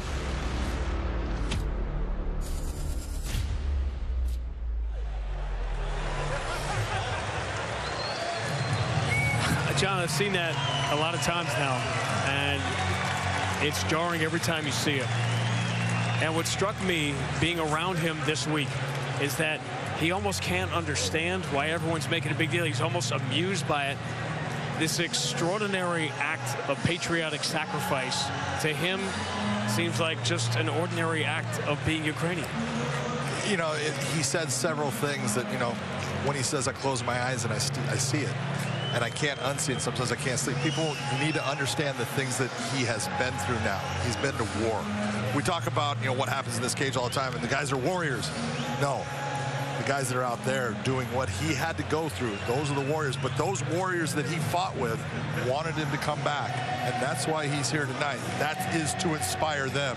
So you got to look at him you say, man, you, you, took you took the hard step. You did something that a lot of people won't do gave up a world championship and put your life on the line. And man, you got to have nothing but respect for Yaroslav Amosov. And he's he's thrilled to be back. He's thrilled to be back training, and it matters to him every second of every day. He's thinking about not just what he went through, but the things he saw, the people he was with that said, "You need to go back, not for you. You need to go back for us."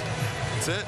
You know, and he's he's actually here now because he believes and he's been told you're going to do better things for us going, fighting, and showing people what the Ukrainian spirit is about.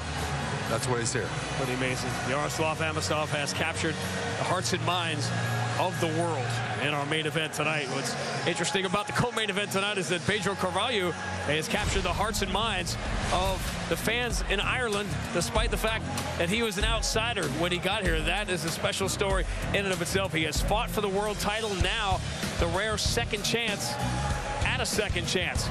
Pedro Carvalho, now suddenly one of Dublin's favorite sons, is standing by with Amanda. Sean, thank you so much here with Pedro Carvalho. Coming off what you have called the best performance of your career against Mads Burnell, you said technically it was the best performance. You talked about your maturity and control. What's evolved for you, though, since then? It was just, you know, uh, my whole journey, you know, especially my failures, my setbacks. I made sure that I learned from them and I showed that I learned from them. And right now, I know that I have all the abilities to be world champion. You know, I showed them against Mads Burnell, one of the best featherweights in the, in, in the world.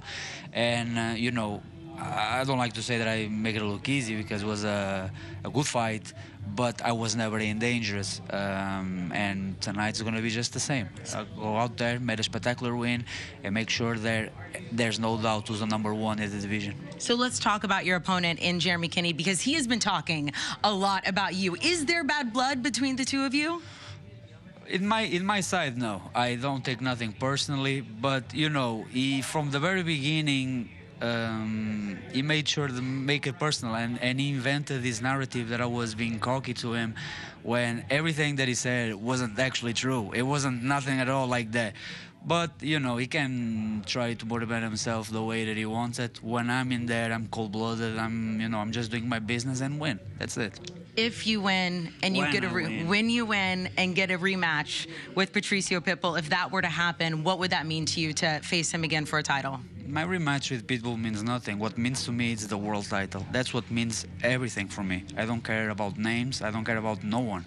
Just care about me being world champion. That's it. Who, who I have to beat? No care. Good luck tonight. He says there's no bad blood, just cold bloodedness with Pedro. But let's send it over to Aiden with Jeremy Kennedy. Well, thanks, Amanda. We will talk about Jeremy's opponent, Pedro, in just a moment. But, Jeremy, I got to say, welcome to Dublin. Here you are once again in enemy territory. What are you expecting tonight from this arena? Uh, yeah, just a lot of energy, and I'm gonna feed off that energy. You know, this is uh, something I've kind of done my whole career. Is this enemy ter- territory, burning the boats? So I'm just ready for another one of those. So this fight has potentially been in the making for almost two years now. Pedro has just told Amanda there is no bad blood, but I know this week you spoke about feeling disrespected. What's what's your side of the story? Yeah, I mean, there's no bad blood. It's we're here. We're, it's time to fight now. The talking's done. The fight's signed.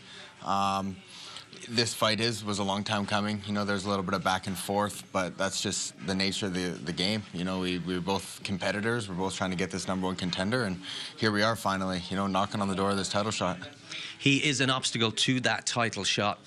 What would it mean to get the victory tonight and be potentially the number one conte- contender to fight for the title? That's just all the hard work. You know, every every day I wake up, I'm trying to get to this spot. You know, and now I'm right at the doorstep. And my whole camp, every camp prior, every fight prior, I've been building in this division for two years now. And uh, this is it's all coming down to this. You know, and every fight's the next fight's the biggest. So once we get through Pedro, it's going to be another big challenge again. So I'm just I just focus on myself getting better. Every every camp, every day, every decision I make in life is just for this moment. And you spoke to us this week uh, about putting on a statement performance tonight, scoring some style points, and getting this done early. Why is it important to make such a big statement? Um, I just think you, you always want to put the division on notice. You know, I want the rest. I want the next guy I'm fighting to be to be concerned and be looking back at this fight and, and see what I'm capable of.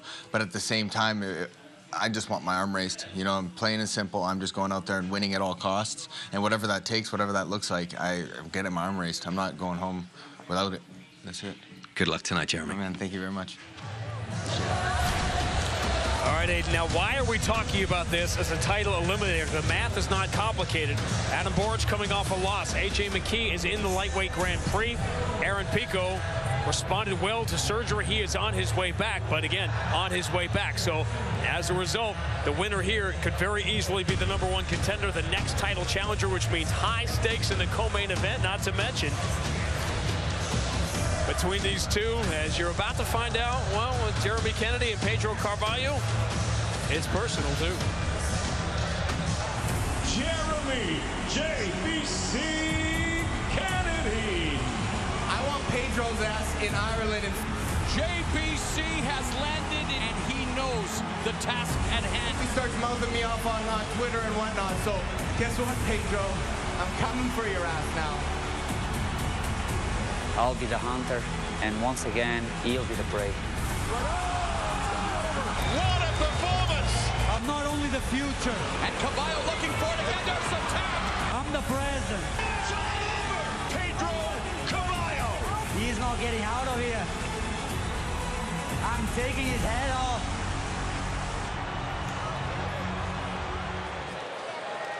Now set to make his way to the cage, Jeremy JBC Kennedy.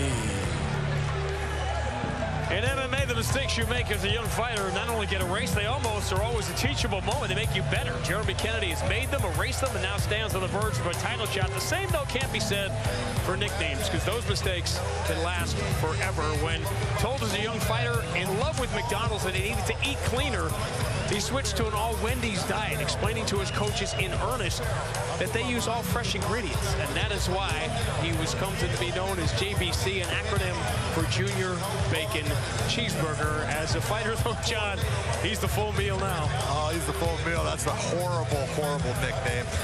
I'd love to give Jeremy a better one. It's but a he- great snack, But he but it's a likes horrible it. So, uh, look, he is a phenomenal fighter, and he is an outstanding wrestler who grinds guys, puts a lot of pressure. You see all those marks that are under his left arm. Those are all his victories, and he wants to put one more tattoo mark on that after the fight tonight. 18 and counting. Ready now to make his way the game,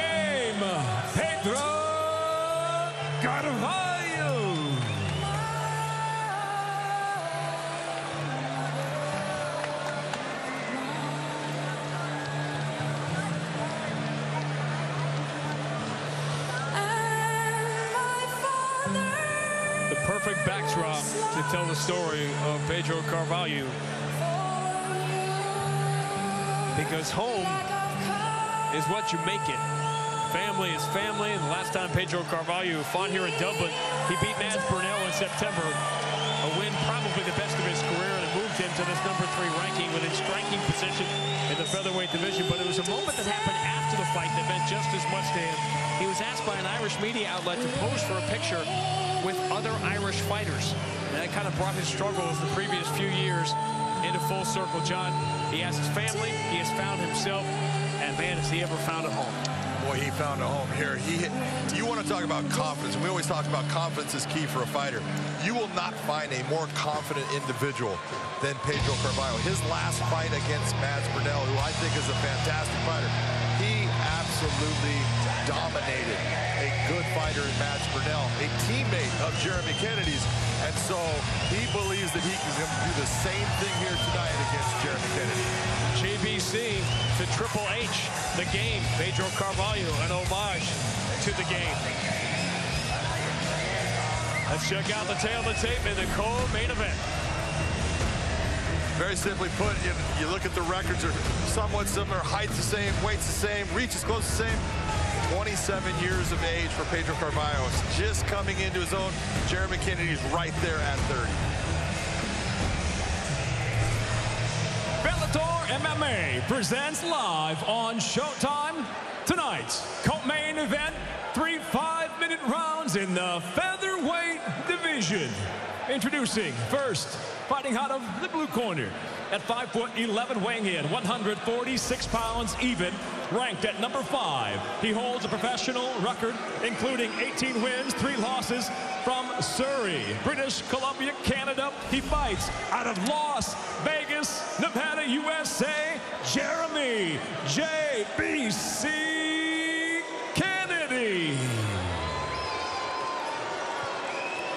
And across the cage, his adversary fights out of the red corner at 5 foot 11, weighing in 145.4 pounds. Currently ranked at number three. The former world title challenger brings 13 professional victories, six defeats. Originally from uh, Guimarães, Portugal, he fights now out of Dublin, Ireland. Introducing the game, Pedro Carvalho. In charge of the action, your referee, Keith Peterson.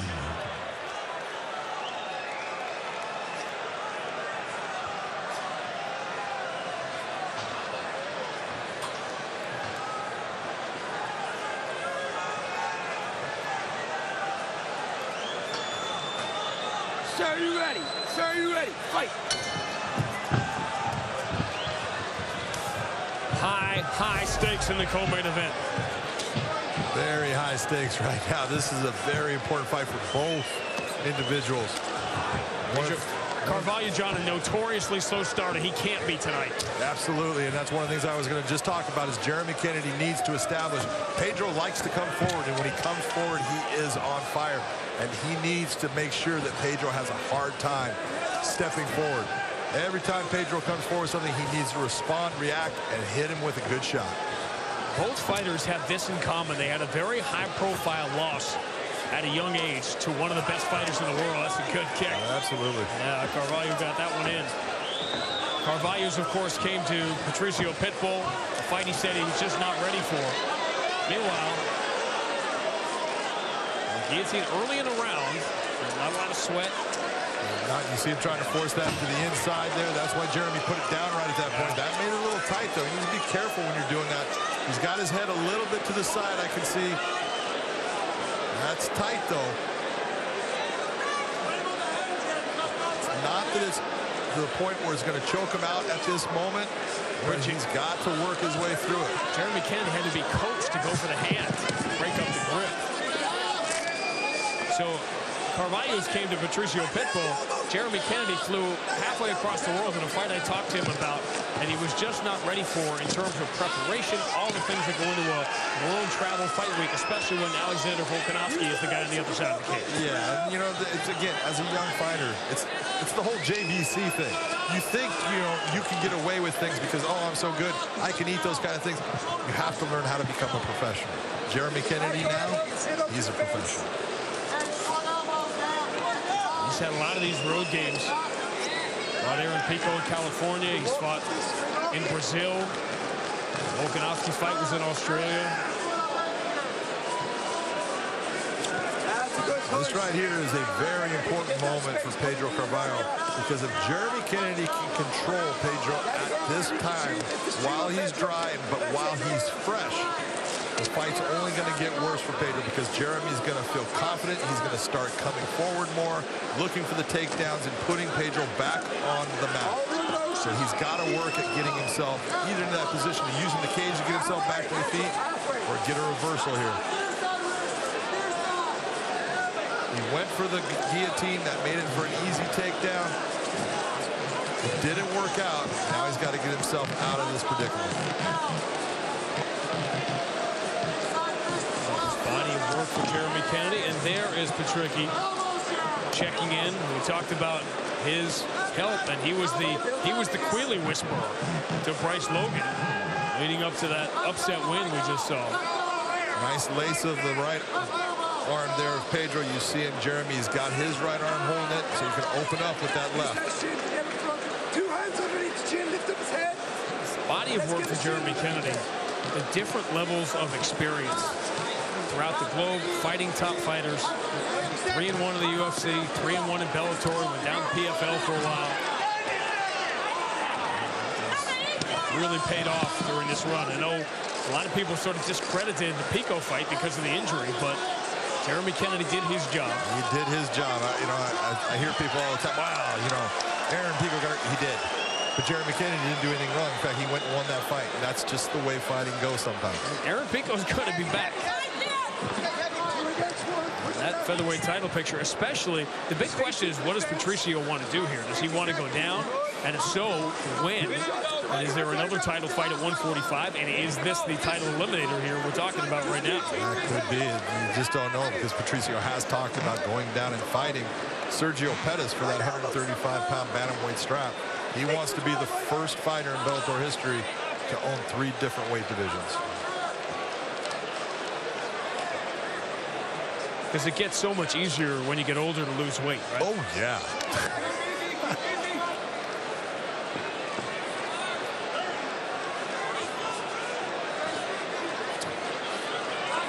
It's crazy to think of Patricio Pitbull legacy shopping when his legacy is pretty darn good as it is. And again, borderline dominance here on the ground, which is what we expected from Jeremy Kennedy. Jeremy Kennedy's had his way with this so far, so this is all looking good for Jeremy Kennedy right now.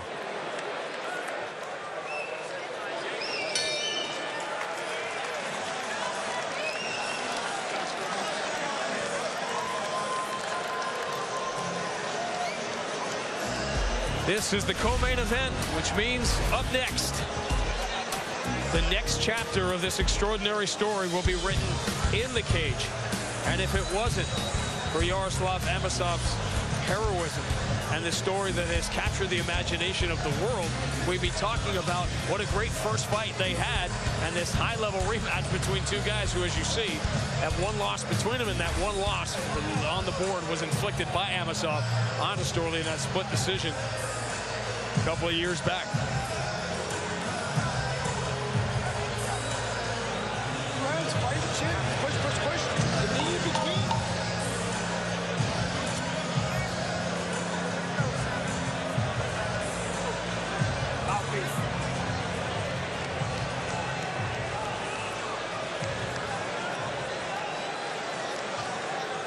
Uh, what does Pedro Carvalho have to do here in round two?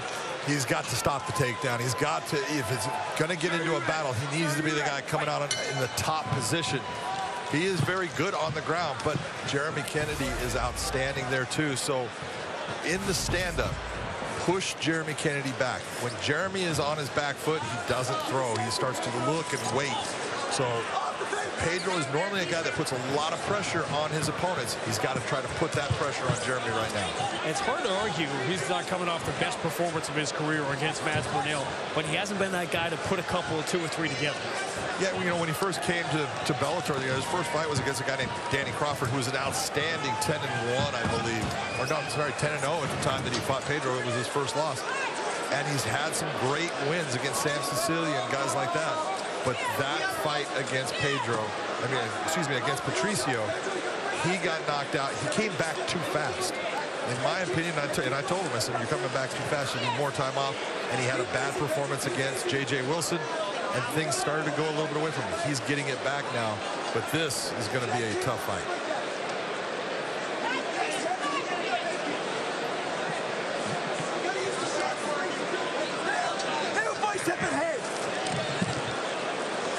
Keep those left shots going, Pedro. Right knee to the body. Jeremy Kennedy, British Columbian. And realized, and we talked about this too, that he felt he had to get out of Canada to get to the higher level as part of the Volkanovski story that he thought he was fine training up there and he needed to upgrade. Again, these are a lot of the upgrades. This high-level wrestling now takes the back. Nice body lock takedown by Jeremy Kennedy. Triangles it up. And it is it has been that change. He's training at Extreme Couture. His coach Eric Nicksick loves him as a as a person that's always in the gym, always working hard. Now great nutrition, always staying in shape. And he's working out with guys like Patchy Mix yep. and all these other guys. So he's got some studs around him. Aljamain Sterling. Mads Burnell too, by the way, speaking of scouting yep. the guy that you're fighting.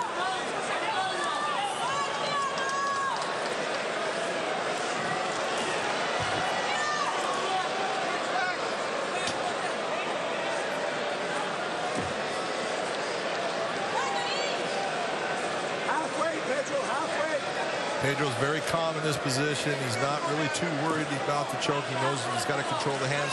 But he's got to get that foot, just like he is, to the ground. Now he can start to try to peel that leg and get himself out of there. That was nice work by Carvalho. That's why you're seeing Jeremy go to his hooks because he, he knows Pedro likes to peel that foot. That's why he can't peel it now. Right, look, he's trying to block triangle, but he's got it back. And he, Pedro doesn't feel that he has that on his leg. He's trying to push that foot off. It's not working for him.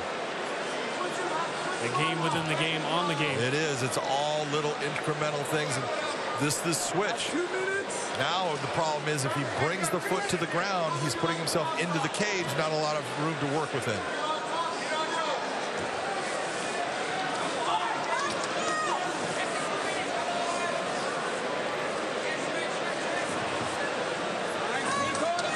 Really improved defense from Pedro Carvalho, but he's coming he out of this though. He lost nice the first. He lost the first round, and at some point, defense isn't going to help you. And this is one of those situations if you're Jeremy Kennedy and now you've been on the ground with him, you've gotten that figure four in his body, and you weren't able to even kind of attempt a good choke, then the next time you go there, it's time to start using strikes. I need to loosen him up, make him pay.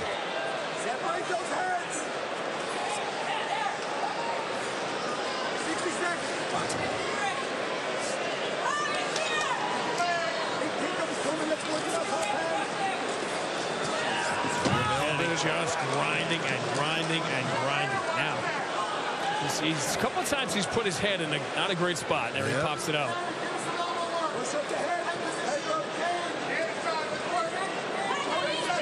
See, this is a place now, Jeremy is very wise to all the attacks that Pedro can create, and he's just going to grind with his head, use his pressure to create problems for Pedro, and just try to use some strikes now, beat him up a little bit.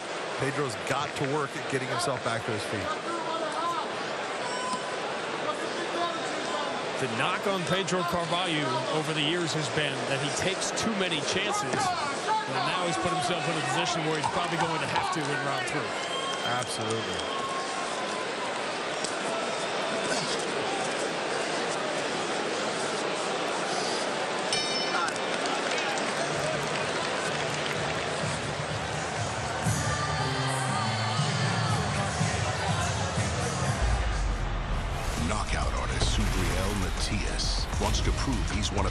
Dogs of the super lightweight division. But Jeremias Ponce looks to stay undefeated. Matias versus Ponce on Showtime. What a way to start this huge day on Showtime. Packed house at the Three Arena, the town that Pedro Carvalho now calls home. Born in Portugal, pride of Surrey, British Columbia. Little known Jeremy Kennedy fact, he was in the, remember when the Vancouver Canucks lost the Stanley Cup in 2011 to the Bruins and there were some riots and Vic, Jeremy Kennedy was right in the middle of that. So he didn't do anything, but found himself in the wrong place at the wrong time. I was a- I was actually there at that time. Stop. Oh, you know, listen, I believe when you say, hey, I've been to Dagestan and I've been to these places I've never heard of, I believe you. You were at the Stanley Cup riot in Vancouver in Yes, we- 2011. Yes, I was. Were you in the middle of it saying, let's get it on? No, I was not. I was trying to get my butt out of there. You're, you're Forrest Gump, man. You've been, you're like in all you. these historic moments. Stupid is as stupid does.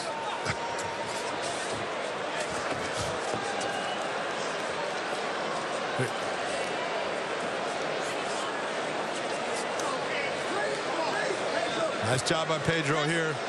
He's got to really open up and start going for this. He can't get into a, just a slow grinding game. If he believes that he can take Jeremy down and move to good positions and do damage, great.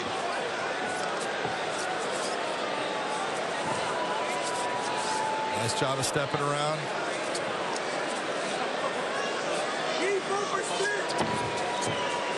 So he needs to be slick. Think about you tripping with the leg. Take one of your feet, put it behind the leg. You see Kennedy going for the Kimura there. Nice change of position. That happens so easy. Yep. Pedro's in on the same type of Kimura grip to try to change it back, but he doesn't have the same angle.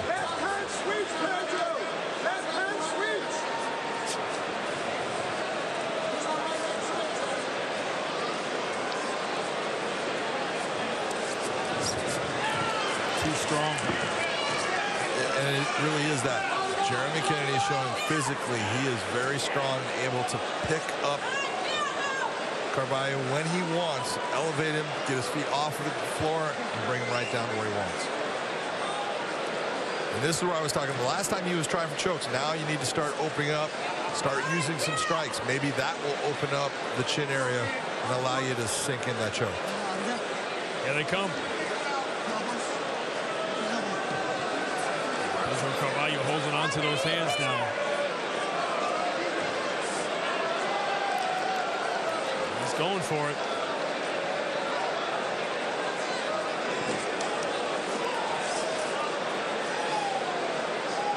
And Seven minutes of ground control through the math out of 13 minutes of the fight. Not even.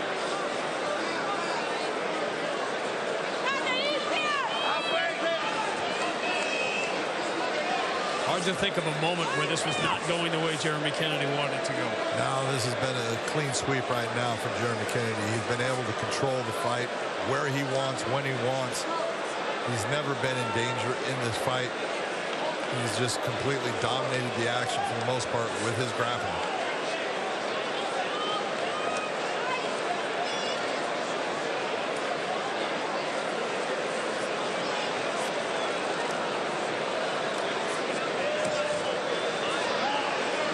You forget about prospects exploding on the scene at 22, 23. They have a high-profile loss, and then people tune away. And they forget that they're still getting better and better and better.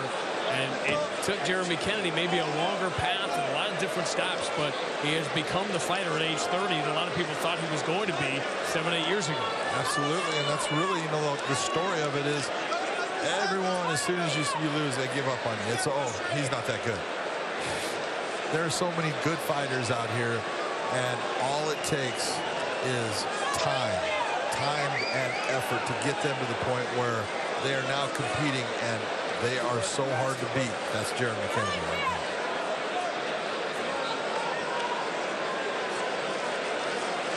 Variety of competition, the variety of trainers, the variety of coaches in different locations. This is the night he has put it all together, been dominant. And Jeremy is he's wanting to finish this. Yeah, he is. Yeah, he's trying to do things, and he maybe should look. You can always, if you go back to the hooks, you can look towards sliding towards an armbar, but not easy to do against someone that knows what they're doing in defense. He's held on that body lock for two and a half, three minutes here in the third round.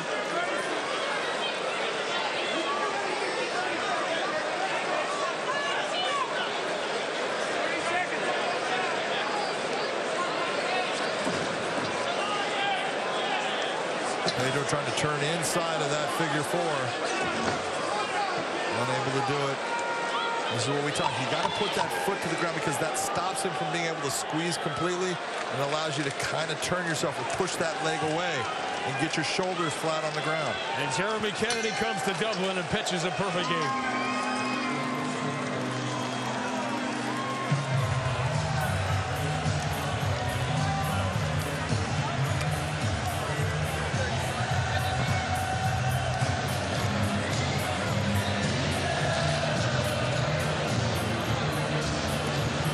Pedro Carvalho, who has tasted victories, climbing the ladder, and some really bitter defeats. He knows the difference. And Jeremy Kennedy about to add to that tattoo.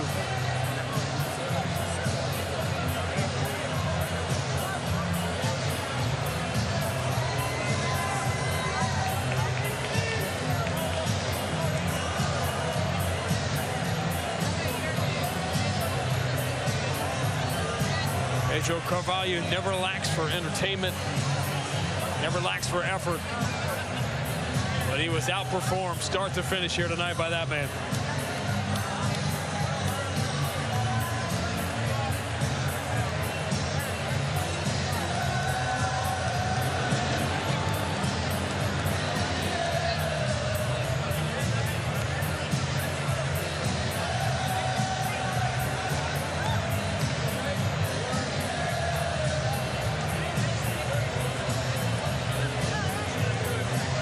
People tried to pull apart the Aaron Pico win because of the injury. Jeremy Kennedy did his job that night, and he has done it again. And he has put himself in prime position. Michael C. Williams makes it official.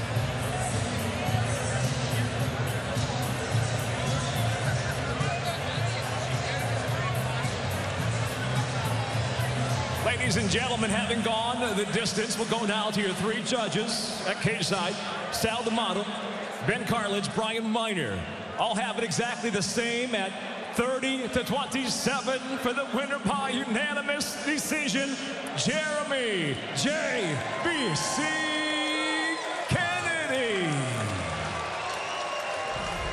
He's earned himself a junior bacon cheeseburger. Jeremy Kennedy, JBC, is with BJM. I mean, I'm here with Jeremy Kennedy. In fact, Sean Grande just said you just earned yourself a junior bacon cheeseburger. Ah, yeah. That was a dominant win against the number three ranked guy in the featherweight division. Where do you think this now puts you? Man, I'm, I, I believe I've been number one the whole time. And I think this just proves it, you know. I wanted to come on here and make a statement. And uh, I don't make excuses. All day, all week, I've been feeling kind of shitty, you know, crapping my guts out. But he's, he's a tough guy. He's a guy that you, he's going to be right in your face and active the whole time. And yeah, man, it's, it's a tiring style to fight, but uh, even on my worst day, I can 30-27 these guys, you know? So that's the statement I'm taking here is on my worst day fighting, I'm not happy with my performance. And that's the number three ranked guy. And I'm able to walk through and do that. I don't know where, where these, John, what are we gonna do about these rankings, man? I keep beating these guys that are way ranked higher than me. So uh, I expect to, you know, you keep what you kill, you eat what you kill. So I'm at least number three now. So who is it you should be fighting? Pitbull, you know that's the, that's the fight. That's the only fight right now is that title fight. Pitbull, you better not be running down to 35. I'm the guy to fight. I'm the guy in this division. This is my division. I'm a dog walk a ball around this cage. Big win. Congratulations, Jeremy Kennedy, ladies and gentlemen.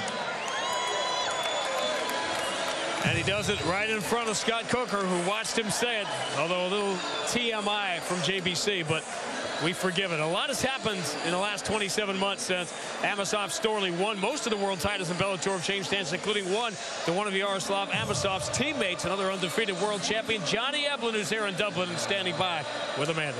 Sean, that's absolutely right. I am here with our middleweight champ, Johnny Eblen. Johnny, it's pretty incredible. Uh, three weeks ago, you're defending your belt, and at that time we talked to you, you said, I'm going to be in Ireland to watch my teammate, Amosov. Why was it so important for you to make this trip? You're not even in his corner. You're just here supporting him as a friend.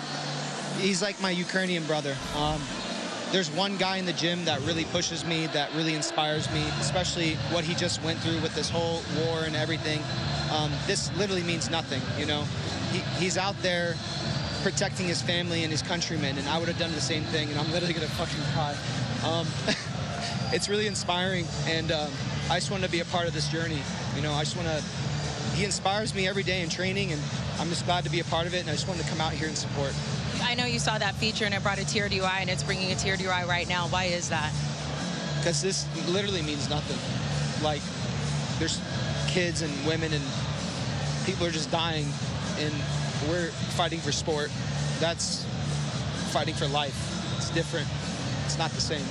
Talk to us about his training. I, I, went to ATT actually to watch you train, and you brought him over. You said, This is my brother. I said, How is he feeling going into this fight? You said, By gosh, he is ready. How has his training been at ATT? His training's been amazing. Um, he's the one guy, like I said, in the gym that really pushes me, that really pushes me to that next level, that is a reason why I'm a world champion now. And, uh, I mean, I remember the first day when we got back together and we trained, he's like, dude, I missed you.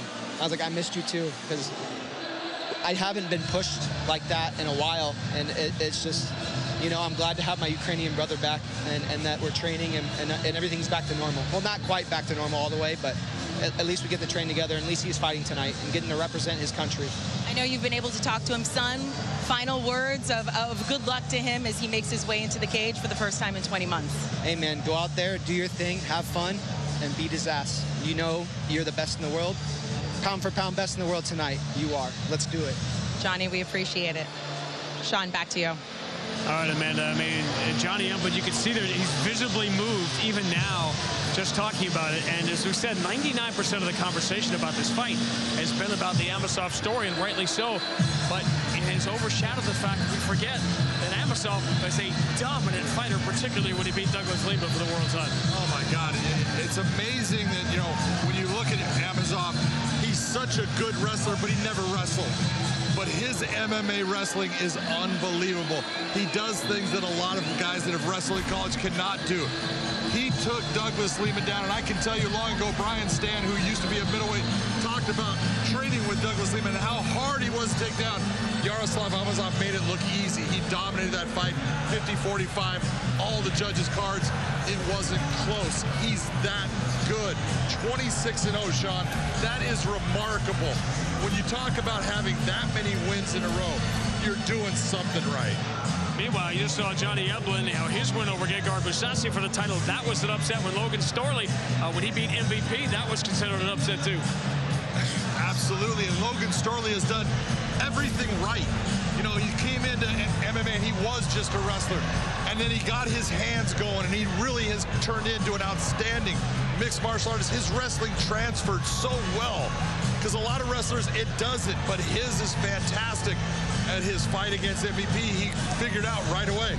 I'm going against a guy that can touch me from a distance that I've never had anyone be able to touch me from. I need to get back to my basics. He did. He got the win. That's what winners do. You know, it's funny. I asked Logan Storley this week, if he wasn't the one fighting him, would he be rooting for Amosov tonight? You know, he's had to answer all those kind of questions all week long. But I can tell you this about Logan Storley. If you're rooting for Amosov tonight, he does not care. If you don't like the way he fights, he does not care because Logan Storley came here tonight to do the same thing he has done his entire life over and over and over. Win. I've heard the criticism, but I'm about winning, and that's what I've been my whole life. He is the interim welterweight world champion. A great display of what he is so good at. Yeah, I'm a wrestler first. That's what my bloodline is from five years old until now. Hard work, outworking everyone, and uh, grinding guys out. That's really what I am as a fighter first.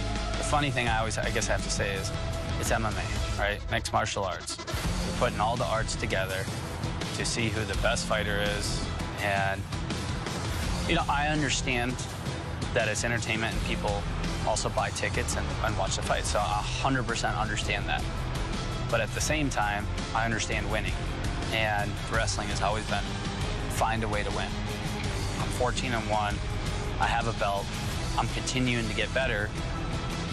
And if all my fights were super exciting, but I was two and three, you would have no idea who I was. And so you have to win in this sport. Yaroslav Amosov, Logan Storley, for this battle of unbeatens. Yeah, the first Amosov fight, I set a high pace early. But the, the best thing about that fight was I brought out a different fighter in him, and he brought out a different fighter in me. And that was the first fight where I couldn't get to my takedown early. He couldn't get to a takedown, and we started throwing hands and, and pushed each other to, you know, everything we had and then some. Yeah, Yaroslav Amosov, he's got really good balance, and he makes you work for everything. You're not just going to get to an easy shot and finish it. It really came down to two or three scrambles. Well, I remember about this fight, Logan, it's wrestling. I see every my jab, my punch, he attack my single leg every time. Yaroslav Amosov. After that fight, I kind of said to myself, like, that can't happen ever again. And I made the changes. And, you know, since then, I'm 3-0 and interim champ.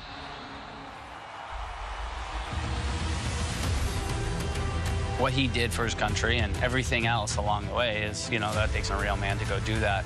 So I respect him for that. And I'm glad he's back. He's had time to be back 100% training and we're both healthy. And we know how uh, grueling and, and brutal this fight is going to be for both of us to set that pace for 25 minutes. But he's not going to beat me this time.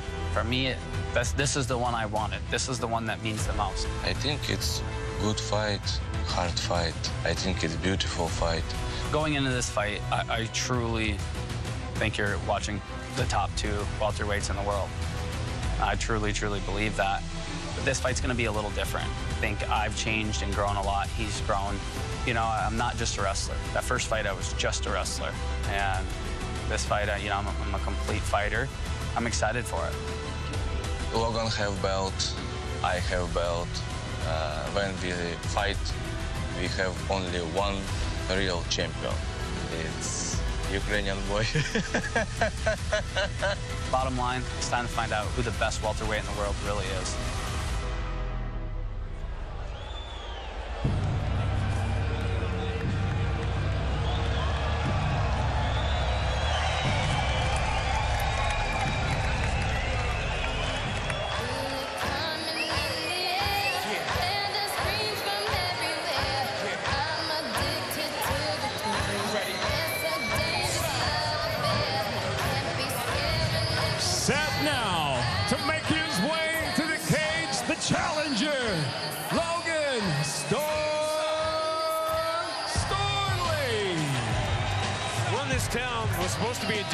Jay-Z and Rihanna, but Jay-Z felt Kanye West had to be in on it because he felt the three of them run this town. That's depth.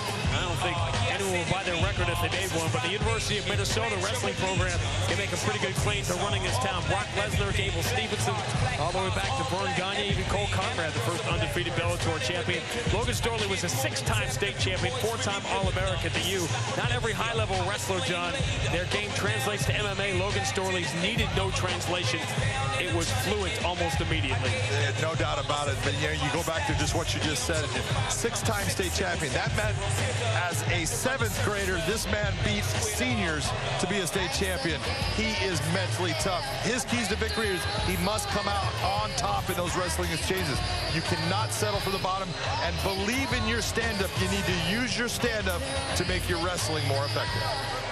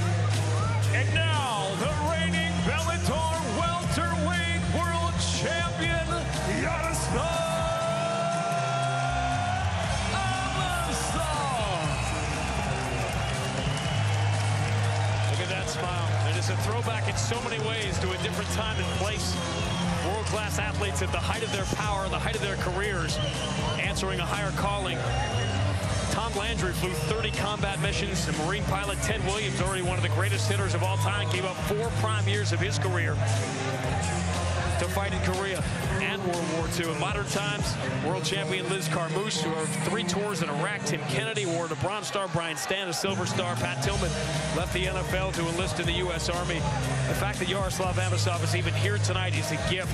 His life, we know, will never be the same. Now, John, the question is, will he be the same dominant fighter he was two years ago? You know, it is the question because you talk about Logan Storley and he has been fighting and he's been active and Amosov has not been active. And there's a difference between training in the gym and being in that fight. The speed and timing is different. And we're going to see if there's any difference in what he does tonight.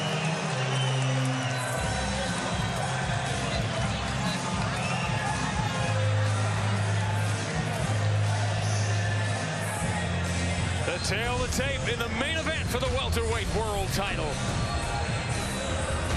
As simple as it gets, how can you get past the records? 26 and 0, that is the very best record in MMA right now. Active record 14 and 1, and that one loss came against the man on the other side of that sign. So these guys, unbelievable records, unbelievable fighters.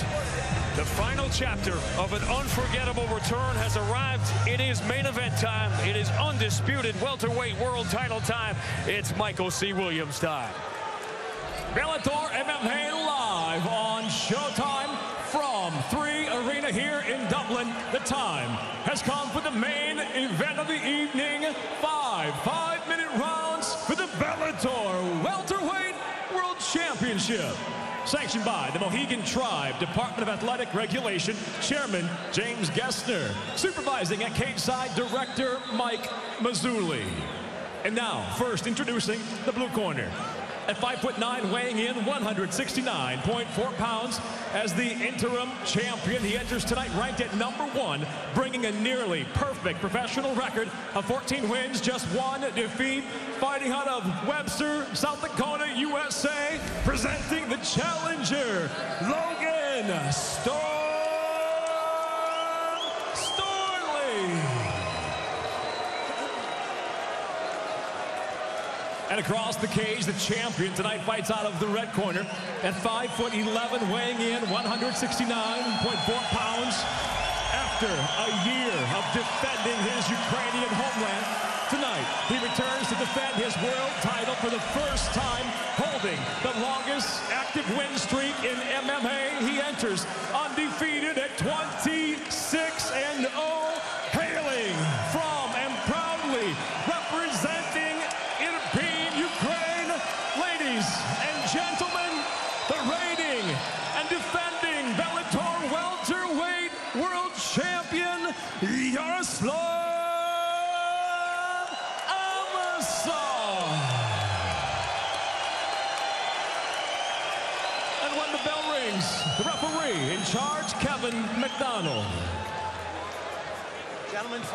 under the unified rules to unify the belts. We went over those rules in the back. Want a good fight? You'd like, touch gloves, and best of luck.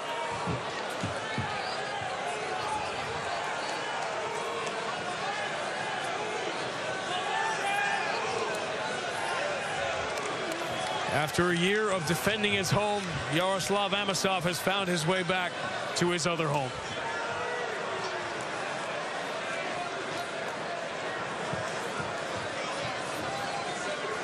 Ready to fight? Ready to fight? Let's go. 27 months after their first meeting, the rematch for the title. I think in this matchup, you're going to see Logan Storley much more at home, staying on his feet, trying to use his hands against Amosov. He's not going to go right to the wrestling like he did in the first match.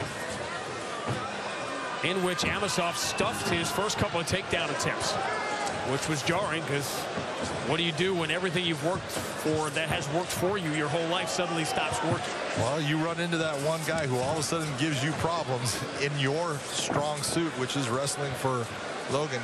Everyone knows how good Amosov is with his wrestling. Johnny Eblen, who comes from a wrestling background, University of Missouri, will tell you, man, I'm telling you, he is so hard to take down. He is so good with his wrestling. So he's just that guy. You know, GSP was one of them, never wrestled, but boy, he could wrestle in an MMA cage. How good is Logan Storley's wrestling? Ask Kamaru Usman.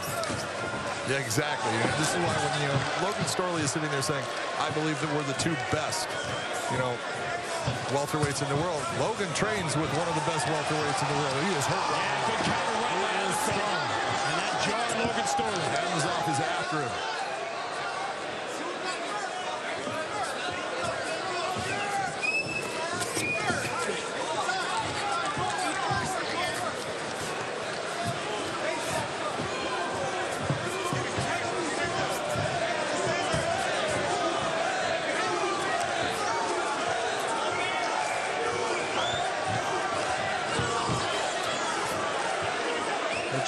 Ukraine, Ukraine. I heard Amanda earlier talk about how many Ukrainians have relocated because of the war all over Europe, but particularly here in Ireland.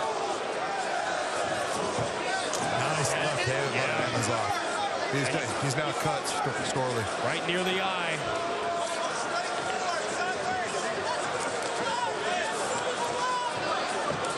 And, I mean, just look at the fluidity of his movement, Sean. He is at home. He's comfortable, and this is after a basic two-year layoff. It's amazing that he's just walking right back in here. And we had to see it because everybody who was training with him was telling us this. But you just didn't know, given the circumstances, if they were speaking with their heart or their minds and eyes. And, and the, the real truth is, you just don't know until it's actual fight speed. There is a difference. And he's showing right now, no, there's no such thing as caged corrosion for Amosov. You see, even from that angle, you saw Storley's head pop back.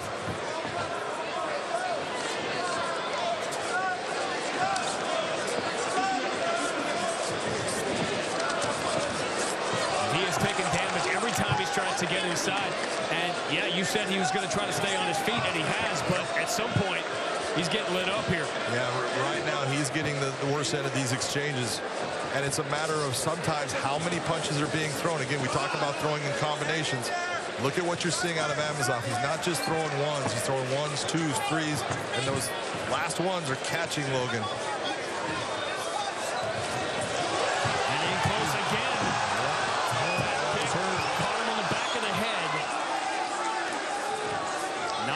But you never know with equilibrium. And this has been a big first round for Amosov.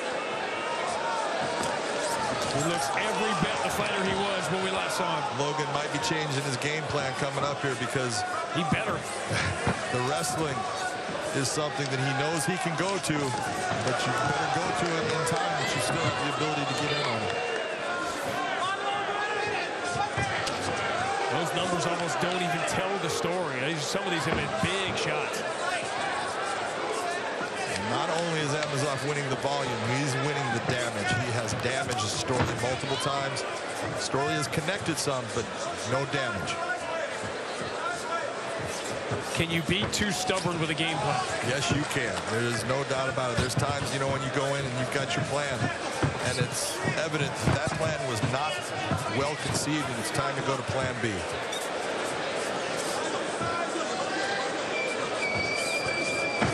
Logan Storley's worst nightmare as he prepared for a fighter who hasn't been in the cage for this long. What if Amosov is better coming back? Well, you know, we talked to Amosov, and he talked about the freedom of being in here because this is nothing now. Now he knows this is nothing compared to what he's been through. And he's showing it. A dominant round one.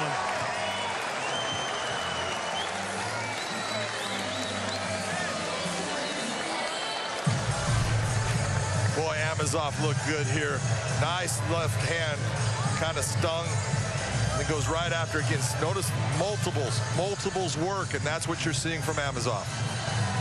Nice left hand again. The left hand was the difference maker in this round. That right hand is what hurt Logan Storley. Again, the right hand lands, but look at the volume. Look at how many. Look at all of those shots coming at him, and that's what makes it difficult. You could block the first one, maybe two, three, and you still, you can't block them all. And that's what we saw.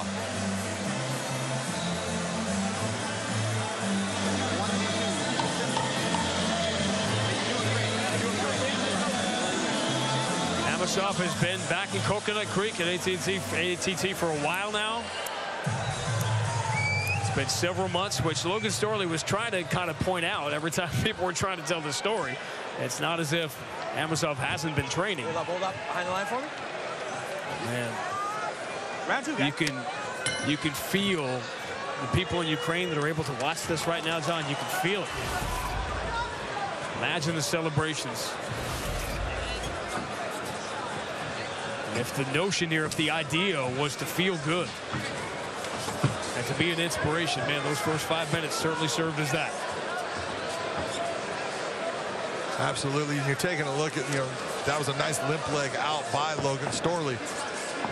But the fact that Amosov was the one that actually initiated a possible takedown attempt, he's trying to just tell Logan Storley, I'll go to this. Nice attempt by Logan and a beautiful counter by Amosov. That's what you need to do. Someone attempts that takedown, make them pay.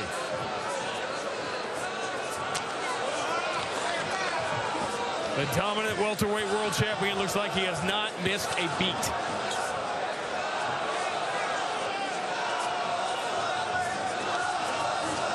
Beautiful feint right there by Amosov. He's getting Logan to lean. Logan doesn't want to lean. You got to bring your feet with you. Nice. That was that was very nice and clean by both.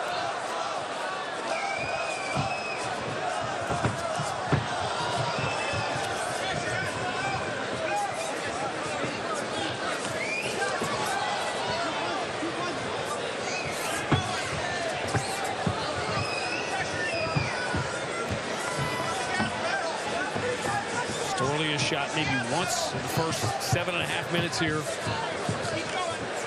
Remember in the first fight, Amosov stuck the two early takedowns. Again, look at the volume. Yep. Not ones, not ones, twos. He's going with fives and sixes.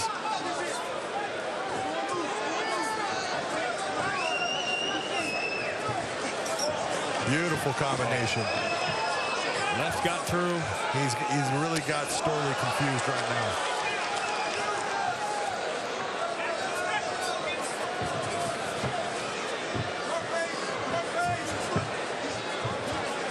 Question for the Logan Storley campers, would they see the same guy that they saw 27 months ago? And so far the answer is no. They're seeing one who's a lot better. Exactly, and it's, it's amazing to see, but you know, it was more of a wrestling heavy attack. You know, by both guys in the first fight, it has been Mostly stand up, and it has been an absolute onslaught by Amosov. Even the shot Storley is landing, he's taken two or three just to land one.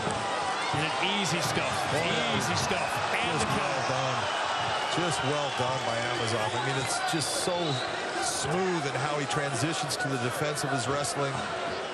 Stopping a guy that we know, man, he's so good with his takedowns. Amosov is painting a masterpiece through eight minutes. Nice uppercut by Storley. And Storley needs to do that. He needs to get into that range where he can use some dirty boxing.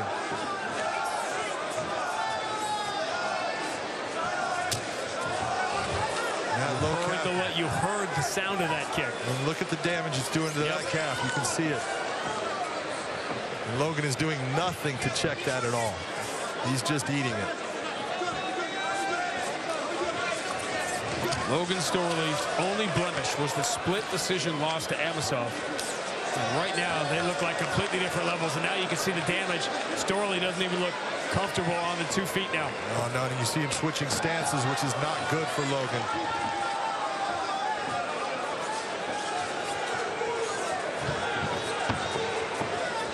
By switching stances, Logan now has his normal foot that he shoots with. Is it not in position?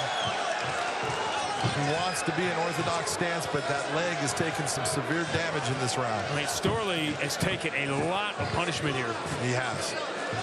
There's no doubt about that. He is in a position where he's absorbing, and you can, again, there comes that point where it just becomes too much. Your body starts to shut down. Your mind can be tough. First was a three-round fight, remember. This scheduled for five, an emphasis on schedule. And these guys, this is a high pace. These guys are going. Nice movement by Storley to get himself out of range. Oh. Combinations. And that's the difference right now, Sean. These combinations, we talk about it all the time about don't throw ones, just don't throw one, two. Amosov is picture perfect in what he's doing as far as throwing combinations. Oh, nice. Nice attempt by Logan Storley there. You've heard the stories. Well, Amosov looks unbelievable in camp. It's amazing. You wouldn't believe it. And I think a lot of people didn't. We should have.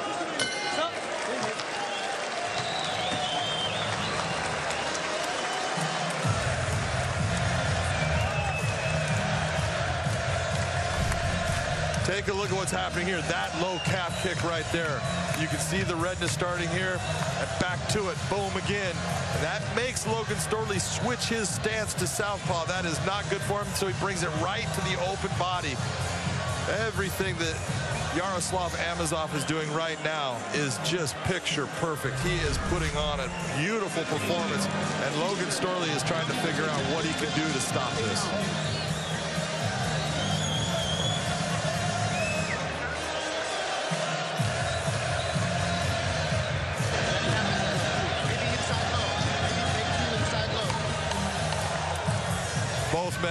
Incredible corners. Bob Cook in Logan Storley's, Mike Brown with Yaroslav Amosov. And Johnny Eblen almost brought to tears in that interview just now, talking about everything that Yaroslav Amosov has done. Just again, talking about how he has looked on the Coconut Creek. And man, I think they were underselling it. Well, I'll tell you, he didn't tell us enough, did he? No. It was so odd talking to him this week, and he just with so much on his mind. He seems so happy to be here. Beautiful right hand landed by Amosov there.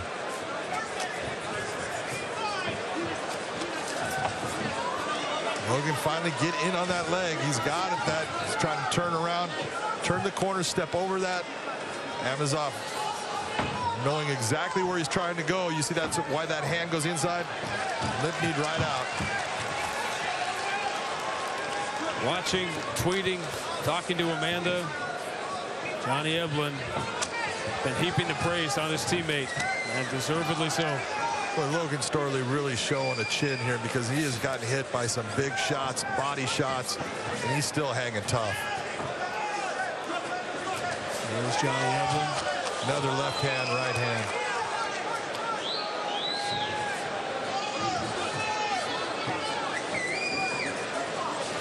You can See the damage. That is no lie. Another big shot gets through from Amosov. He's thrown in combinations. Multiple shots at the same time. Has hit that right kick to the body on Logan Storley at least six, seven times now. It's going to have an effect. See Logan Storley has got southpaw here. He just ate another left jab.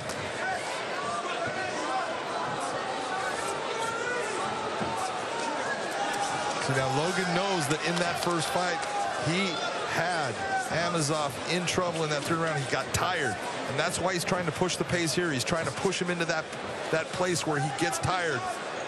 I just don't know if he can do it what's happening and, and, and the way that Amosov is looking. Amosov does not look tired at all. Oh, big yep. left hook. Right on the chin. That's what Logan Storley talked about, the deep water, the fourth and fifth round. And it's natural to think when you had the guy tired and you were the better conditioned fighter the first time in the third round, you get to those later rounds. But don't think anybody on Storley's side could have imagined the punishment he would take through the first two and a half just to get there. No, and we talked to Amosov about that, and he said, look, that camp was the worst camp of my life. I was dying trying to lose the weight to get to weight. He goes, I never felt so bad in a fight, so that was his story, and you know, I'm going to believe him because, boy, he looks different right now.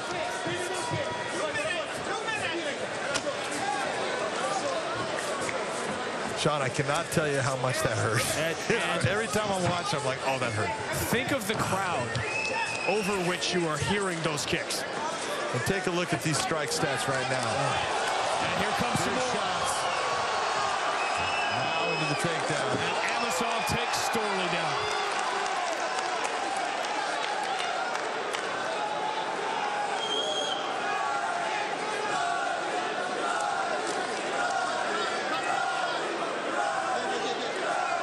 Storley's go, trying to work his way back, but he knows that with Amosov having his hands clasped, he was going to get taken for a ride. So he's just taking his time, biding his time, wait until he can get a hold of one of the hands, and you're going to see him stand up from that point.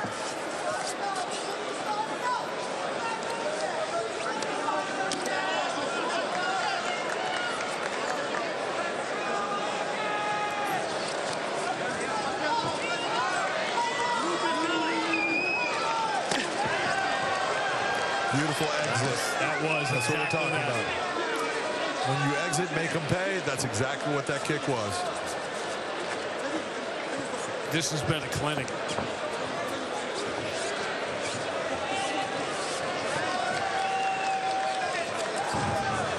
Look, I have been a believer of Yaroslav Amosov since the first time I watched him fight. When he was going to come into Bellator, I said, man, this guy can fight. And I've never seen him look this good. 624 days away, and that was off the dominant performance off one of the best fighters in Bellator history in Douglas Lima.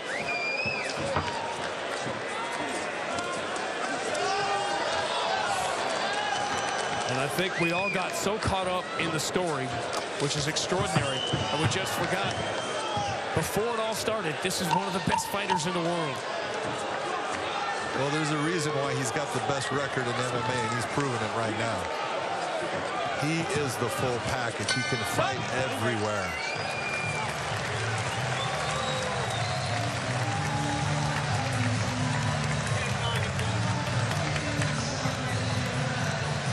Don't have time to show you all those strikes on the stats we showed you. No, but we'll show you a little bit. Look at that nice right hand right there. Lands clean. It's not a very heavy shot, but it lands clean. Here comes the jab. Throws to the body, up to the chin. And look at the multitude. Boom, boom, boom, boom. Just keeps on throwing. That body kick has landed how many times? Beautiful. One, two, three, four, five, six, seven, eight. I mean, that's the difference, Sean. It's amazing. And here's where it gets to the takedown. If anyone's going to bet, normally you're going to say Logan Storley's going to be the guy getting the takedown. Johnny Eblen sees the takedown, gets all excited. I don't understand why. He's, oh, wrestling. Got it. We're talking about how Logan Storley has gotten dominated here. How many welterweights in the world would not be dominated against this performance right now? I'll tell you How what. many would still be standing? Full marks right there. People better take note. You're looking at the best welterweight in the world right now. He can do it all.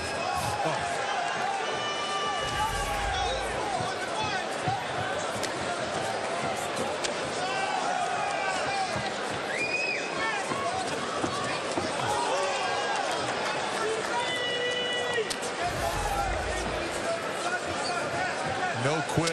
Storley still coming forward, still going after him, trying to figure out that one thing that he's going to see the open. Big shot. Logan's hurt. He has been hurt. He was hurt in the first round.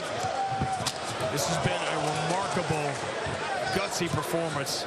And John, even you are flinching at these shots now. Man, you can hear him. You can feel how hard Logan is getting hit at times. And it's like he's just he's hanging in there. But man, you can only take so many. And you have been three feet away from some of the most devastating shots ever landed in this sport. No doubt. There you go. Another exit. Make him pay. Oh, Beautiful. At some point, you got to think about the damage that Logan Storley has taken here. At what point is this fight no longer winnable? When you talk about country tough coming from South Dakota, there is no doubt Logan Storley is just one tough individual because he has taken some big shots and he's still coming forward looking for that chance, looking for that moment.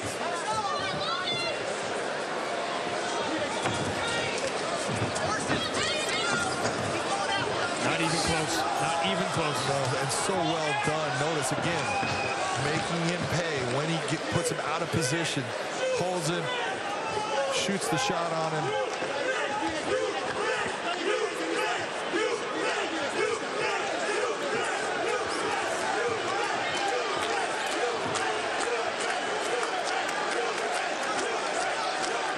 Six failed takedown attempts for Storley. And they truthfully haven't been close.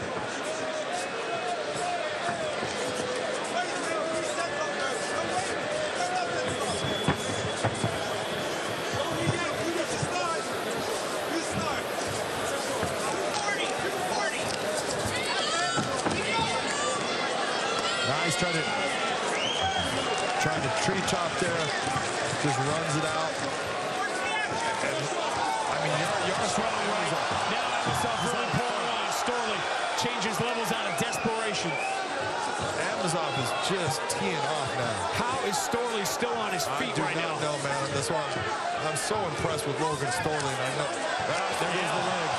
The leg that Amosov has been chopping at throughout this fight. And honestly, that's a good thing for Logan that Amosov went for the takedown. His leg's not going to get attacked right now. He's going to get back to his feet. You're going to see Amosov trying to, if, if he's going to let go, he's going to exit, trying to do some damage here. Nice job of kicking the leg away. Here it goes. Turns his back, eats another left.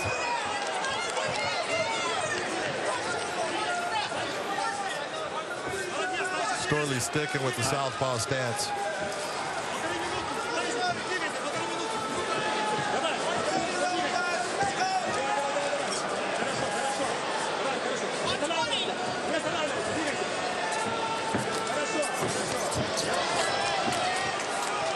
This is as courageous a performance as you're going to see from Logan Storley. Oh, my God. I mean, look, think about those numbers and that damage. I mean, it's amazing. He's taken 210 strikes and, and hard ones just like that, even when he blocks it. Yeah. See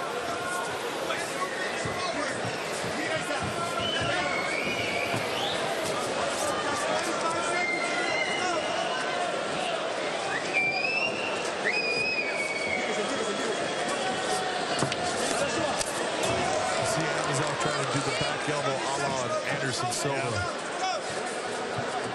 Anderson Silva landed that same strike on Tony Franklin, knocking him out. This has been such a disciplined performance in addition to its dominance. Precision.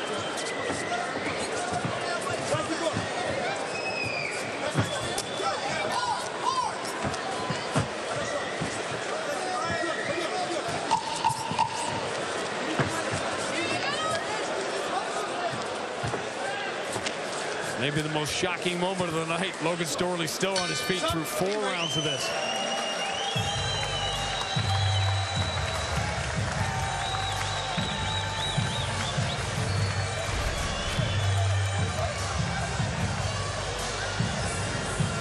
Take a look here. Nice straight right hand. Jab, jab. There goes the kick, and you see it what the effect it has. Logan cannot hold his balance based upon that leg is now damaged. And there comes the jab again. Simple, the simplest strike you can get, and it's doing damage. I don't know how many times Logan has been hit to the body with that kick, but tomorrow he is definitely going to be feeling it. All the work with Robbie Lawler, so confident coming in. He has every right in the world to be confident. Take a look at the people he trains with. He trains with some of the best people in the world. He knows how good he does against them. And then he comes in here and this happens. And it's like, what the heck is going on? It's just that Yaroslav Amosov is that good. Any semblance of a wrestling match that he envisioned has not come close to fruition. And Amosov has more takedowns in addition to everything else.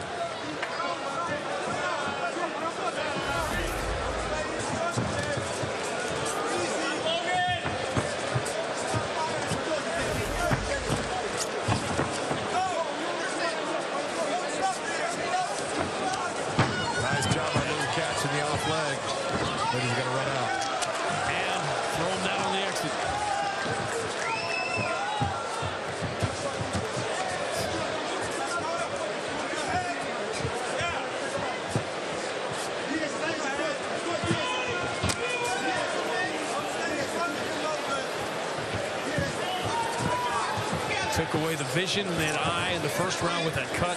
He took away the lead leg in the second round.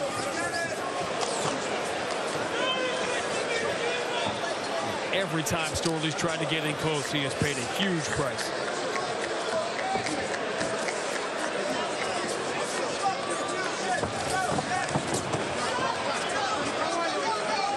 I think eight punch might be underselling it. Oh,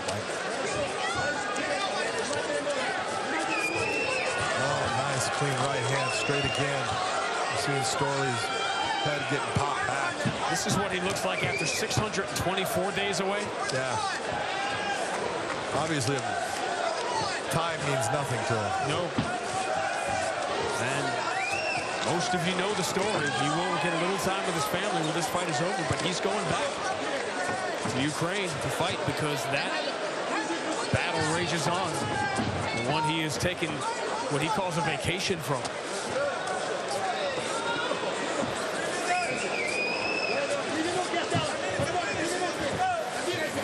Those athletes throughout the years that have taken time away in the middle of their careers to serve their country.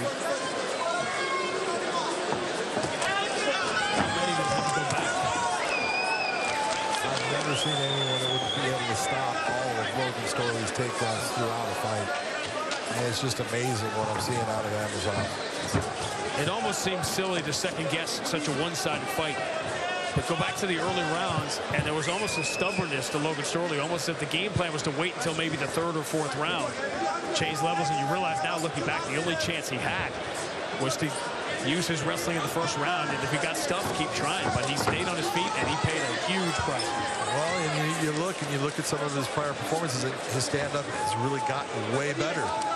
It's just he cannot stop the multitude of attack that Amosov is bringing in all of those combinations and the different angles he's bringing him at. There's no one that's going to give this guy trouble if he continues to fight this way.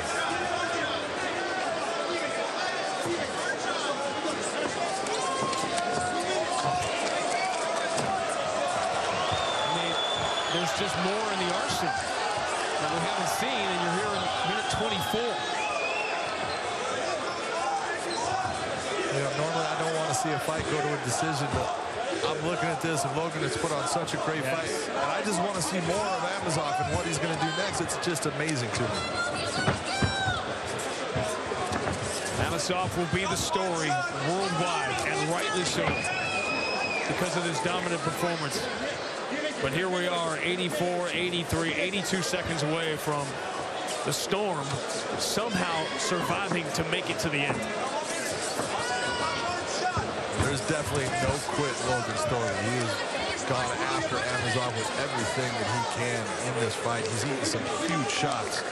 So Logan Storley has nothing to feel bad about. He's given everything you can give.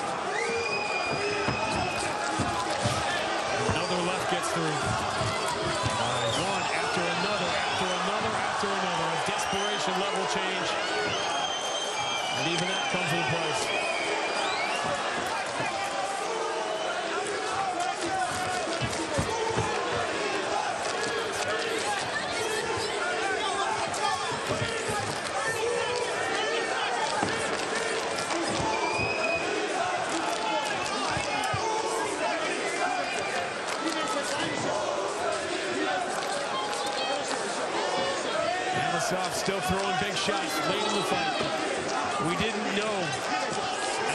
This great story after two years away, what it would look like when he returned. Would he be the same fighter he was? It turns out he wasn't. He was much, much better. A truly dominant clinic of a performance returning one of inspiration from a dominant world champion at the top of his game.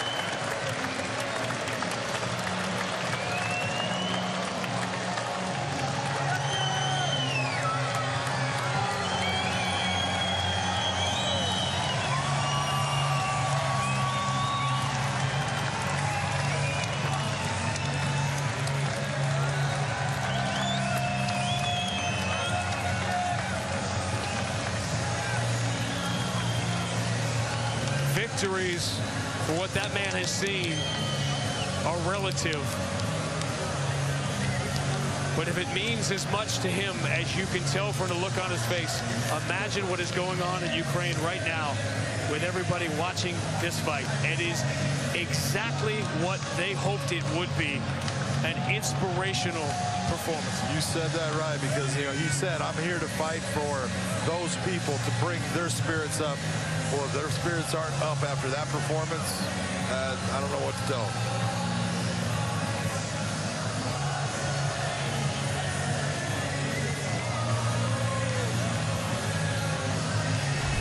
Take a look at some of the action here. Storley looking for the takedown. Nice shot. He's, you see Storley actually just getting that one shot in here. The body shots over and over. That kick to the body happened. Storley doing everything he can to close distance. And then when he does, shot right to the chin. And then the, here comes all the volume. And it happened over and over again. One, two, and then three, four, five, six, seven, eight. Even when Storley landed, it was Amosov finishing it off with the better strikes. Just a brilliant performance. We've seen many flags in the cage over the years, but never seen one that meant more than the one that Yaroslav Amosov has behind him right now. And that you've seen strewn throughout this crowd.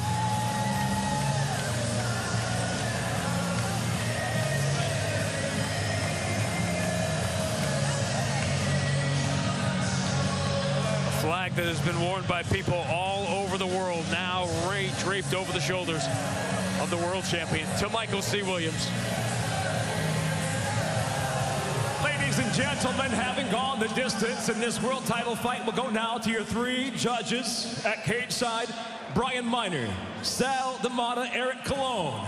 All three see it the same at 50 to 45. I'll have it for the winner by unanimous decision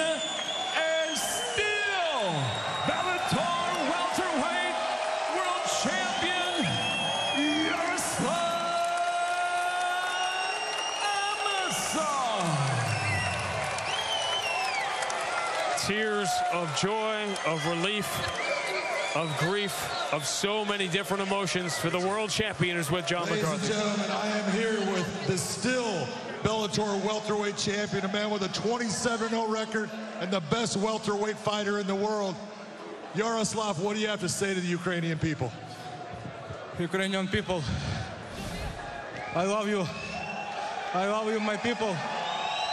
And uh, please give me one minute. I want to say uh, one year, yesterday it start one year when crazy Putin start big war in my country. He wanna kill uh, kids, every people who from Ukrainian. And uh, I wanna say, I wanna say, I wanna thank you, thank you, my Ukrainian army for defense my country. Thank you who help my country. Please not forget what happening because today this crazy guy attack Ukrainian, but we don't know what he do tomorrow. Слава Україні! Thank you. Yaroslav, you put on a brilliant performance against a a great fighter in Logan Storley. But this fight was completely different than your first. What was it that you were doing inside here that made you so successful tonight? Give me please translator. uh, again, please. Who should who should get it the next shot at your title? Next opponent. I don't know. I think it's we must uh, question big boss Scott Coker, and uh, I think he give next opponent. Yes. Sounds good to me. Anything you want to say to these Irish people here who came to cheer you on? Thank you. Thank you, Dublin. Thank you, Ukrainian. Thank you, our world. Thank you. Ladies and gentlemen, give it up for the number one welterweight in the world, Yaroslav Amosov.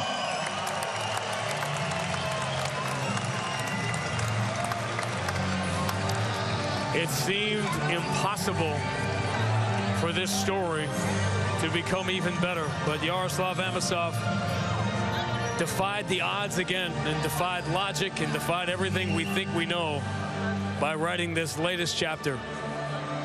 An extraordinary fighter, but also an extraordinary human being.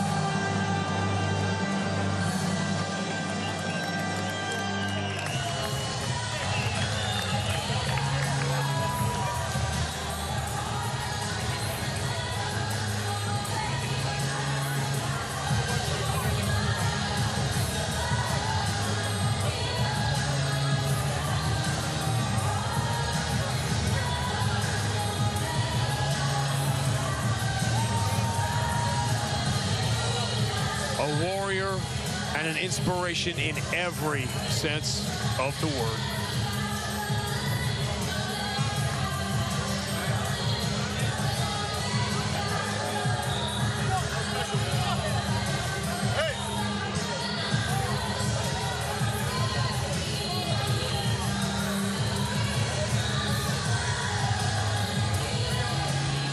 Lightweight World Grand Prix is on. March 10th, eight of the division's best compete for a shot at a $1 million prize and the championship title. Kicking off the tournament, number two ranked Tofiq Musayev boasting 16 knockouts in his 20 professional wins. Takes on power striker and proven finisher, fourth ranked Alexander Shabliy. The reigning champ, undefeated Usman Nurmagomedov, puts his kingship on the line against veteran lightweight Benson Henderson, who's craving the Bellator title and has just been fast-tracked. Don't miss a second of the fight action on Friday, March 10th.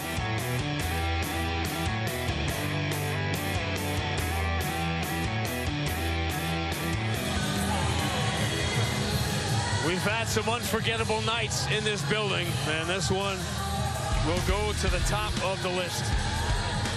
It began with Leonardo Sinise stepping up to face the undefeated prospect Kieran Clark, and he was awfully impressive.